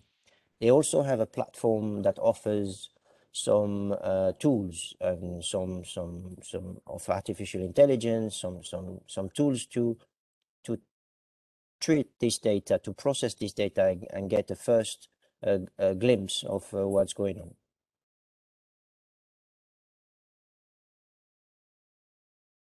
While we're waiting for a question from the audience, my, my, my kind of uh, interest is so, Reda, you've spent 25 years in oil and gas from from your bio, but it seems the examples that you've used is from more from civil engineering. How did you find, you know, yourself stepping into this area? Do you have any any tips and experiences to share transitioning from oil and gas to to to more civil engineering applications? Well, you see, I'm I'm I'm a geoscientist first, and uh, civil engineering have their own way of doing things, and I can see where geoscience can improve it. I spent a lot of time explaining to civil engineers that focusing on a very specific area does not give them the full picture of what is happening. Civil engine engineers don't have this um, understanding of how scale is important to to uh, tackle a problem. That you can have different effect at different scales that are not necessarily a good indication of what is is globally happening. Yeah, I mean, if you think about uh, fractures, uh, you can have frac fracks at the scale of uh, a layer. You can have a fracks at the scale of uh, a, a kilometer. Uh, folds, and they can be contradictory information. They they they can have different uh, dynamic, different orientations, and it depends at what scale you look. You you you can have a different interpretation, but if you look at every scale and understand how everything is is uh, connected and integrated with each other, you you start to have the good understanding of what's going on. A lot of industries like uh, uh, yeah civil engineering or, or or the insurance that also are interested in this type of information, they don't have this knowledge. They need help for that. Uh, this is where the geoscientist can help because it this experience of uh, how to treat the problems in geoscience can be applied in different industries and different domains. Yes, if I can add a comment. Yes, uh, I really like what Reda is saying uh, because I, I started my career in uh, 1988 in uh, civil engineering in a small uh, service uh, geophysical company and it was extremely useful for me to to work in that uh, domain, uh, and then moving to uh, volcanology and then uh, into the oil business, because comparing different scales, different uh, problems, working in different domains, different with the different targets, different tasks, is extremely important for understanding uh, uh, for being a, a, real geoscientist. And so this is a suggestion for young people. Uh, try to find your mm, job in uh, all the different uh, domains of geosciences because each individual domain from civil engineering uh, to oil business is useful by itself. And when you are able to combine the different experiences, you will be a, a, real geoscientist. So it is very, very important what you are saying, Reda. Yes, I, I might add that, uh, you know, we talk about creativity, innovation, and and I think the most important ingredient here is curiosity, scientific yeah. curiosity. Yeah, absolutely.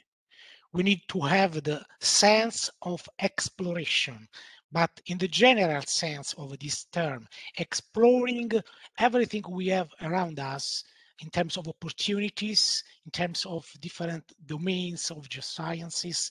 So curiosity is combined with exploration sense.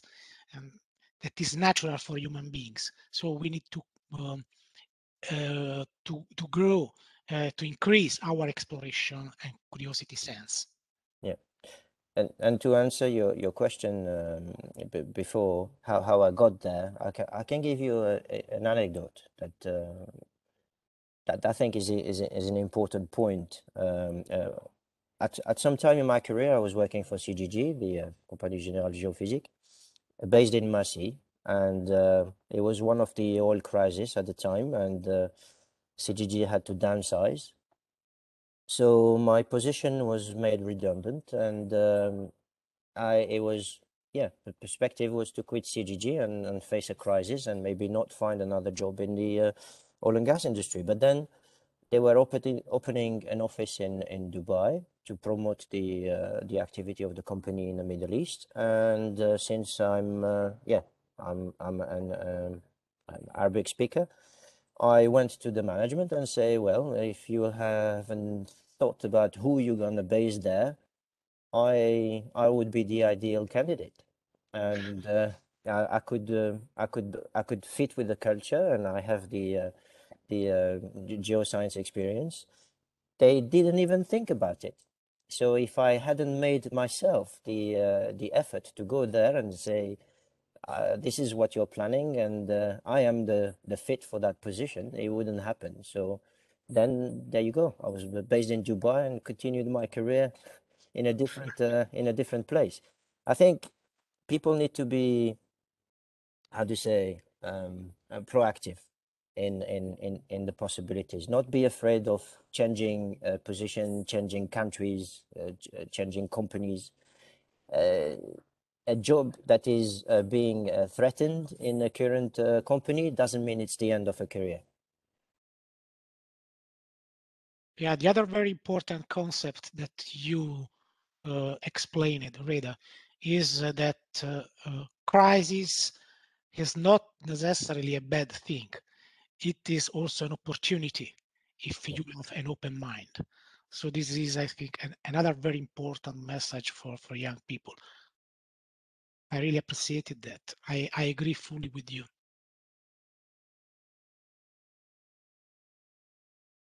Brilliant. Thank you very much. Paolo, I have a question for you if there's uh, no questions from the audience. So you've you've kind of tapped into you know different sections that are using sounds, you know, uh, medicine, music, yeah. etc. Uh, but uh, do you feel it would make sense that our our conferences are kind of around industry, right? It's an oil and gas conference. Do, did you ever explore tapping into conferences that are around, you know, sound or around acoustics or around data science itself? Do you think we could learn more if we kind of broaden our horizon outside of the industry? Uh, yeah, yes, yes. You mean uh, to apply sounds in the in the industry, or? I mean more, you know, in the data science domain. If yeah. you go to a conference, right, it's going to be oil and gas speakers speaking about data science in oil and gas. Yeah. How much is there to learn in other disciplines, you know, that we could bring back to our own? So, for example, other applications in medicine that we could use in oil and gas. Yes, yes. I, I think that uh, yes, I try to apply sounds uh, in uh, in in medicine diagnosis and uh, uh for for analyzing uh, um, electrocardiograms. And then I, on the opposite side, I I brought from medicine into the geophysical domains a lot of lessons learned from from from medicine. So yes, absolutely, using sounds in uh, in medicine helped me to understand also in geophysics the importance of sounds for our interpretation. If you think about the seismic data, basically the physics of seismic is very similar to the physics of the sound and uh, mathematics is the same at least partially and the physics is the same at least partially. And so i this was my job. I imported into the geophysical domain a lot of knowledge that i have acquired in sound engineering because i am a sound engineer too. And so uh, i i was able to to uh, to move uh, a lot of uh, te technical and technologies uh, from uh, from sound engineering into into geophysics uh, and uh, in, in my house, I created a, a, personal studio, home studio, of, of sound engineering, and very often I use it for analyzing seismic data. it works very well. I published several papers about that. Huh? You can find also in geophysical, geophysical prospecting, uh, first break, uh, leading edge, several papers published by me or by my colleagues with me uh, about that. Brilliant. It's um, I, I think I don't know if if something if it's something well known everywhere or if it's just uh, known by a few, but the, um, the the science, the physics, and the science uh, has been shared by different industry all the time. We see the mathematicians working in uh, in uh, geophysics and uh, and the geosciences moving to the finance industry because the mathematics are the same. Uh, the the exchange between medicine and geophysics um, always happened. In the beginning, the ge geophysics of the oil and gas was more advanced and borrowed by the uh, medicine industry. And now the echography and the imaging in the in, in the medicine is far more superior to everything you see in the uh, geophysics. That's it true. always yeah it always go in in, in all the ways. Um, I see a a big move towards uh, digitalization for for for the uh, medicine. People are building sensors that you can keep on on yourself that are measuring a lot of information uh, blood pressure, oxygen quality, heartbeats, and, and, and many more that I'm not aware of. But what does that mean? That means a constant feed of data, which is basically what a, a drilling engineer will look at uh, with the constant logs coming to his station, yeah, and trying to make sense of that. So you can apply uh, log analysis to um, sensor analysis to check if a person is in good health or if a person can uh, have a problem or predict if the problem can happen. So possibilities are everywhere. If you are confident with your skills and you are you have a, this will to to be curious, there are many sectors where they could be uh, appreciated. Yeah, in fact, uh, it is called computer-aided uh, diagnosis, uh, medical diagnosis. And uh, I, am studying that field because it is extremely expiring for building Python platforms machine learning platforms that then we can apply in, ge in geology and geophysics. Uh, I, in my presentation, in fact, I, I showed a, a, couple of slides uh, extracted uh, from my computer hidden diagnosis medicine uh, that I use also for uh, classifying well logs or seismic data. The principles are exactly the same. And uh, so this is exactly the sense of cross-disciplinary. Yeah. And it, it can be very, very useful for young people, but also for not young people. And it is the core of creativity. So bridging the different fields. And, and one thing I'd like to add is um, because of this digitalization and the social media development, it is so easy for someone to show off, not show off, but uh, present their, their, their expertise. Yeah. Like uh, exactly like Paolo did. Uh, he's talking about a YouTube channel. Yeah. Uh, if you if you if you're looking for a position, if you want to make yourself valuable to an industry or to a job position, what what stops you from from showing what you're capable of doing today it's so easy we we don't show our diploma anymore when we look for for for position we show what we can do and how we can help yeah communication and sharing uh, our job is an important part of our work and uh, i strongly encourage uh, young people to uh, to use uh, YouTube, to use, but, but they do that better than me. Uh, to, to use YouTube channels, to use social media, LinkedIn, ResearchGate, um, Amazon, everything, because and this is another very important suggestion for for for young people. We need they need to be manager of themselves, yeah. and a, a good manager uh, is very pay a lot of attention to the communication uh, with other people. So sharing the, the, the work and uh, the attitudes and so on on the web. So this is a very important suggestion. Share and communicate about your work on the media. Brilliant. Uh, I'm still waiting for questions from the audience. So if there's anything that pops up in the meantime, you know, um, I, I, have plenty of questions of my own, but I'm a petroleum engineer by background, so they are not very deep into geoscience. But a question I have is for Artem. So Artem, you have you have a PhD. You've worked for a long time as a researcher across different areas. How does it help you in your career? Is it a option that you would encourage young people to do? I know you, the last time oil price crashed, I was googling every PhD I could find before I found my job. So that's that's always something that is on people's mind uh, if it's something that can add to their career. Uh, yes, thank you for the question. Um, from my perspective, like uh, to step into the PhD, it was not a career decision. It was just more like entertaining because uh, of the nature of the profession of geophysicists, where you combining exciting fieldworks and uh, traveling experience and acquiring data in some interesting geological sites somewhere. Plus, after that, and, and you're getting paid for that. And after that, you're getting back to your uh, research office and processing this data and writing something about them and publishing. And then as a bonus, you're going to a conference. So it's kind of was no reason not to not to take this option. Uh, so th that was uh, that was the background motivation for that uh, to to get PhD.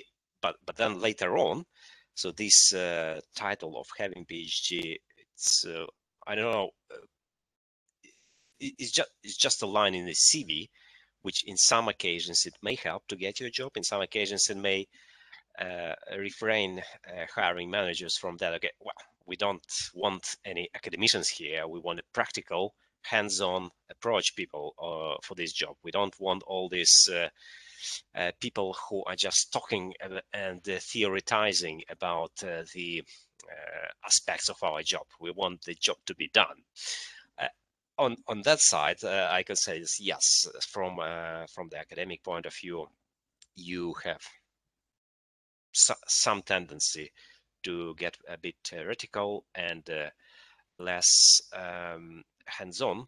But from this, from my geophysical background point of view, it was very practical. Going into the field, acquiring the data, processing the data, interpreting it, publishing it, and to make things published, it's to get job done. So this is uh, this is the one of the aspects to showing that you are able to do something, you are able to achieve something by delivering. So let's say publications or uh, master thesis or bachelor thesis or PhD thesis in uh, that respect is uh, also a manifestation that you can deliver, you can do something.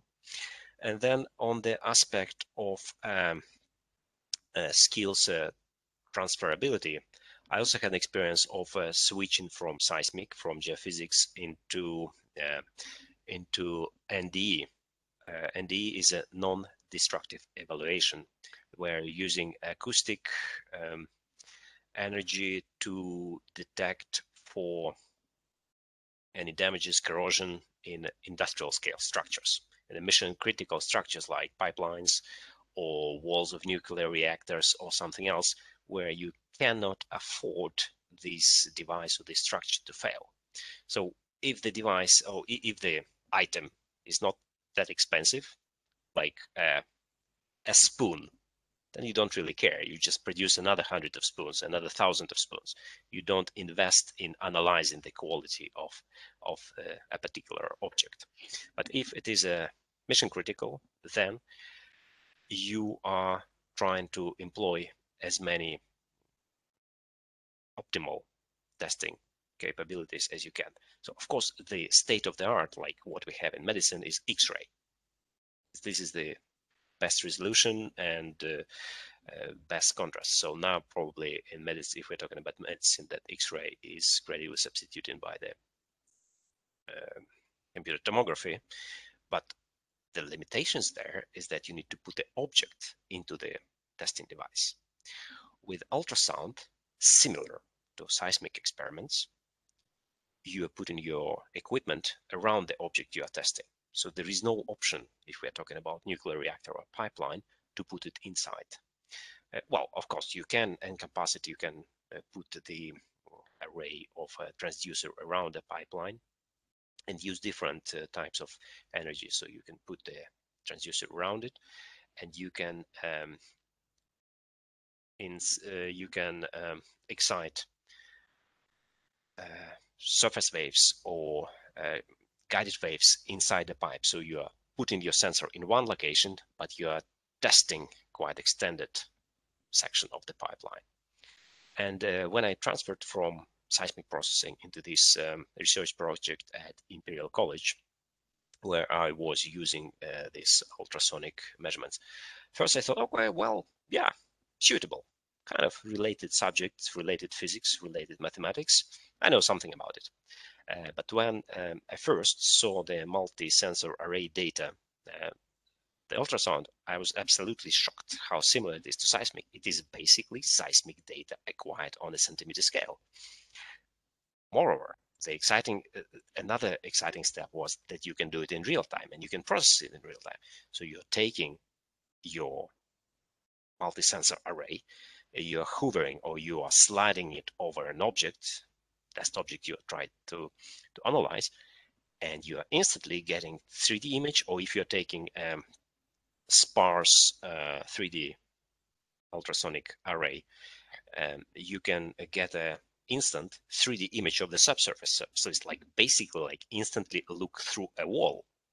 And that was quite exciting, but the, all the physics and all the background information is exactly the same as we use in geophysics. But the data is so cheap, so therefore, uh, in contrast to very expensive seismic experiments where you are like a field campaign is like a hundred thousands, millions of dollars question.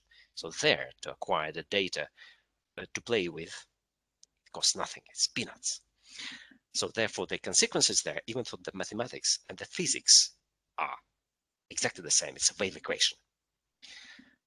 But the redundancy of the data and the, its cheapness, its availability, gives you gives you more options to play to combine the data in a more redundant way, which is no way you can achieve in geophysics. So even though um, my message is that even though the principles are the same, the practicalities and the thinking and actually the mindset of people from different backgrounds like civil engineering, non-destructive evaluation engineers or geophysicists, they might be different. So to get from geophysical mindset into the engineering non-destructive evaluation mindset, it might be eyes-opening, like to widen your horizons. It's like uh, similar to what um, uh, Reda mentioned uh, earlier, like civil engineering, maybe they are focused on a more local problem of the street or of a bridge, but they don't have mindset of looking at the broader picture. So I have an opposite uh, experience like in geophysics in geophysics we have very precious very expensive data and we try to apply all possible sophisticated processing algorithms to clean this data and to extract as much as we can from this very expensive data set. On the ultrasonic uh, data set like the data is almost free. And you kind of you solve the same problem you're getting extensive uh, efficiency or extensive resolution by simply acquiring more data. The problem is solved in a different way. And of course, it's not only seismic and it's not only uh, acoustics. There in engineering, they're using uh, electromagnetic methods. They're using eddy currents to induce um, uh, skin effect, uh, to induce uh, skin currents, which will by using the Lorentz uh, force and will induce some mechanical excitation using the electric eddy currents into the uh, metallic uh, components, metallic specimens. And in that way, it might be some somehow similar to to other electromagnetic methods which we use in geophysics. So it is not only seismic to ultrasonic sonics; it is more wide than that. So th that was my experience. And maybe a bit uh, long uh, answering to question to get or not to get into the into to get this uh, PhD position. I think generally it helps to understand how the science works and how the mindset of academic people works. But um, if it is really a game changer in terms of getting work, um, I don't know, maybe in some aspects, but maybe not in other in the others. So that that's what my opinion is about this. Brilliant. I uh, I wanted to add uh, uh, that uh, the cost that was mentioned um, it, it's an important factor into finding a a job as well, because what what a crisis brings is that we go we industry companies will try to do the same thing at a lower cost, and they will switch to a technology that would help them to achieve that goal. So a crisis means the technology evolves, the technology changes, or the methodology changes with this effort of uh, reducing the cost. And this is a big potential for young professionals because, well, old professionals are close to retirement and they don't, they're not going to think about this. they're going to focus about exiting properly and uh, focusing on, on their hobbies. But the young professionals, they will have the target of figuring out how to achieve that goal, how, how to do the same, well, how to achieve the same results, but with a, with a lower cost. Either changing technology or being more efficient with the existing technology or importing technology from a different industry. And for a young professional, it is very important to be on the lookout, to, to scan what is possible, what is similar, what could be replaced, something costly. But, but the activity will carry on the possibilities to find a, a, company that comes with a good solution and wants to expand is a good opportunity for a young professional. Uh, this is a new career position. Apply, apply, apply your skills uh, differently uh, to achieve exactly the same goal because actually there is a demand in the industry to have lower cost. Thank you very much, Reda. That's really useful. And thank you, Artem, uh, for me, I didn't think PhD might be so entertaining as you described. I think the engineering PhD positions are a bit less entertaining from what I've read. Uh, well, I, I, cannot say about all PhDs. Maybe a PhD in mathematics may be extremely boring to sit on uh, with the formulas and uh, try to um, to derive something. But PhD in geophysics, it is super entertaining. Thank you, Artem. Uh, I think my next question would be to Paolo. Paolo, you, you, you have a lot of hobbies, you have a lot of innovation. How do you find time for creativity? How do you find time to, you know, to tinker with something? I sleep just three hours a night. I'm joking. Uh, it is just the, um, it is not question of time. It is a question of enthusiasm, I think. If you like doing uh, different things and combining them, you can find the time. Yes, I have a family, uh, so I have to dedicate my time also to my family, but uh, my strong enthusiasm in doing all these things uh, support me every day in working very hard uh, every time I can I, I, spend my personal time in creating something new, in, uh, co connecting things, uh, linking technologies, creating uh, some new technology, uh, also outside the, the, the boundaries of my job. And so expanding myself into different uh, disciplines, including medicine, cognitive sciences, art, music, uh, sound engineering, and so on. But the question is not time, the question is is uh, uh, to have enthusiasm. The other very important answer to your question is uh, you can do all that if, if you have the tools. So if you have a good toolbox uh, in terms of uh, mathematical, uh, statistical, and computing mm, technologies, you can do a lot of things in, in a very small uh, time window.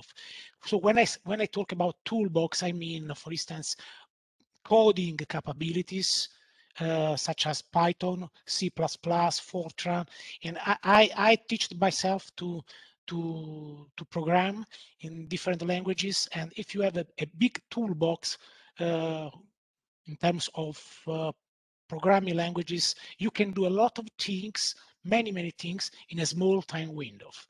So this is the other important uh, technical aspect of my many hobbies and interests. Brilliant. Thank you, Paolo. Very That's welcome. very useful. Yeah, especially about you know coding. I, I I know that you know I know a bit of Python, a bit of you know a dirty secret of VBA, but sometimes you you have something that you would spend six hours on, and you can you know do a little bit of code and save yourself time if if you don't have that toolkit. Uh, Yes, Python, uh, C++, I think at moment are, and also Java. Uh, these are very useful uh, tools for for doing many many things in a small time window. Brilliant. Thank you, Paolo.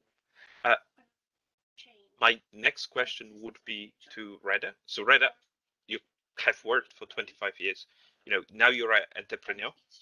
Uh, that's something that I think many people dream now, you know, looking at the news and the, all those media. Uh, would you think when is the good time to make that transition to sometimes, you know, work on your own? Which skills you should pick up before you're able to step out of organization, or do you even need to be an organization to become an entrepreneur? So I tried many times. It's it's not my first attempt, and uh, it's my third attempt. The first two failed, and the first two failed because I was on my own. If there is a a message today about becoming an entrepreneur is that you can't do everything by yourself. You need a team. Um, I'm I have an experience in sales. I'm I'm a geoscientist. Uh, I'm not a a lawyer or a, a, a banker and uh, the finance financial aspect uh, of creating a, a a business is very important. You you need to have beside you people who know what they do, that you can trust. Today, um, well, I've been around for uh, since 2018, and this is because of the team. Because everyone has his specific uh, task, and everyone knows what he's doing. So there is no perfect moment. Well, there is a perfect moment to create a, a business is a crisis. The crisis is the perfect opportunity for creating a business. People are in panic they don't know what to do. Uh, everybody wants to save money and they're looking for the magic technology that will solve all their problems. So also a lot of people are investing in research they are they are investing in possibilities to overcome the future crisis. The government is participating, in uh, heavy industry is participating, so there is access to funding, there is access to to support, and there is also the possibility to come up with a solution uh, that everybody will be satisfied with. So, yeah, the right time is is really a crisis time because with the challenge comes uh, opportunities. Brilliant. Thank you, Reda. So we're reaching the end of the time. We have two minutes. So maybe I would ask for a closing sentence, what you would advise young people to do uh, in the coming years. So maybe let's start with Artem, then Paolo, and then we'll finish with Reda and we'll close the session. Artem? Um, my advice is simple: don't be afraid, and just go to do what you like. Uh, just try to apply to as many jobs uh, as you can. But of course, uh, every not every job will suit you, and you will not be suitable for every job. So, if in your current applications you will get like 10% um, acceptance, like invitation to the interview, this is very good and out of this 10% uh, of interviews, if you will get 1% uh, of uh, of um, offer, this is very good. So this is this is good, and don't be discouraged by all these rejections, because obviously, if you didn't get the job, then uh, there is always opportunity to get the next one, which will be even better, because for some reason that the previous one didn't suit you. So, in a in a short summary, don't be afraid. Just carry on. Thanks. Brilliant. Thank you, Artem. Paolo? Yes, three main suggestions.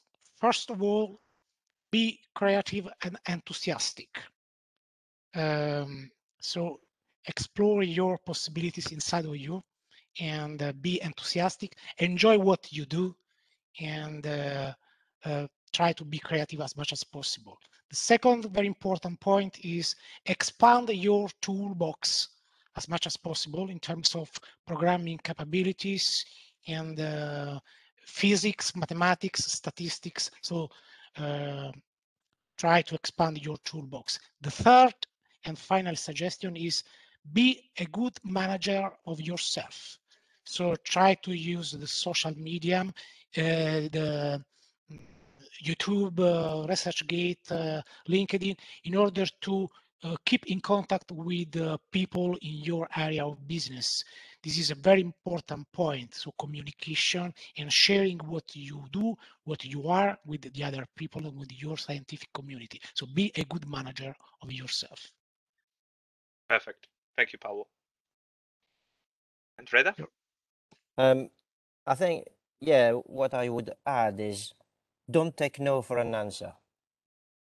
You you don't know how things work when you apply for a job. You could have been filtered by HR, it will have never reached the person of interest, or it would be also an interest that is not even expressed. So if you hear about the job, you apply, you get rejected, it doesn't mean that a couple of days later you apply again, you won't be accepted.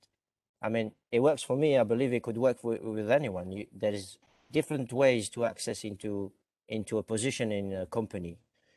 Uh, sometimes it's not it's, it's it's not with the job that was advertised.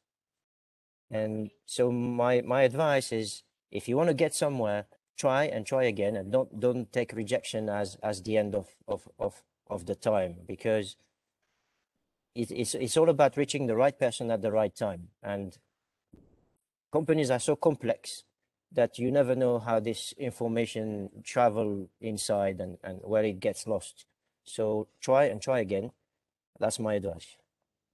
Perfect. Thank you very this much. also shows the importance of uh, personal networking, just to get your message through through the wall. Perfect. Thank you, Artem. Thank you, Reda. Thank you, Paolo. Apologies for keeping everybody two minutes of a time, uh, but this discussion was so good that I couldn't I couldn't end it prematurely. Uh, thank you all for attending, and I'm happy to close the, the meeting here. Thank you. Thank, Thank you. you. very much. Thank you, Thank everybody. Thank you for organizing. Thank Hope you, you everyone. enjoyed it. Yeah. Bye bye. Thanks. Bye bye. Take care. Thank you all.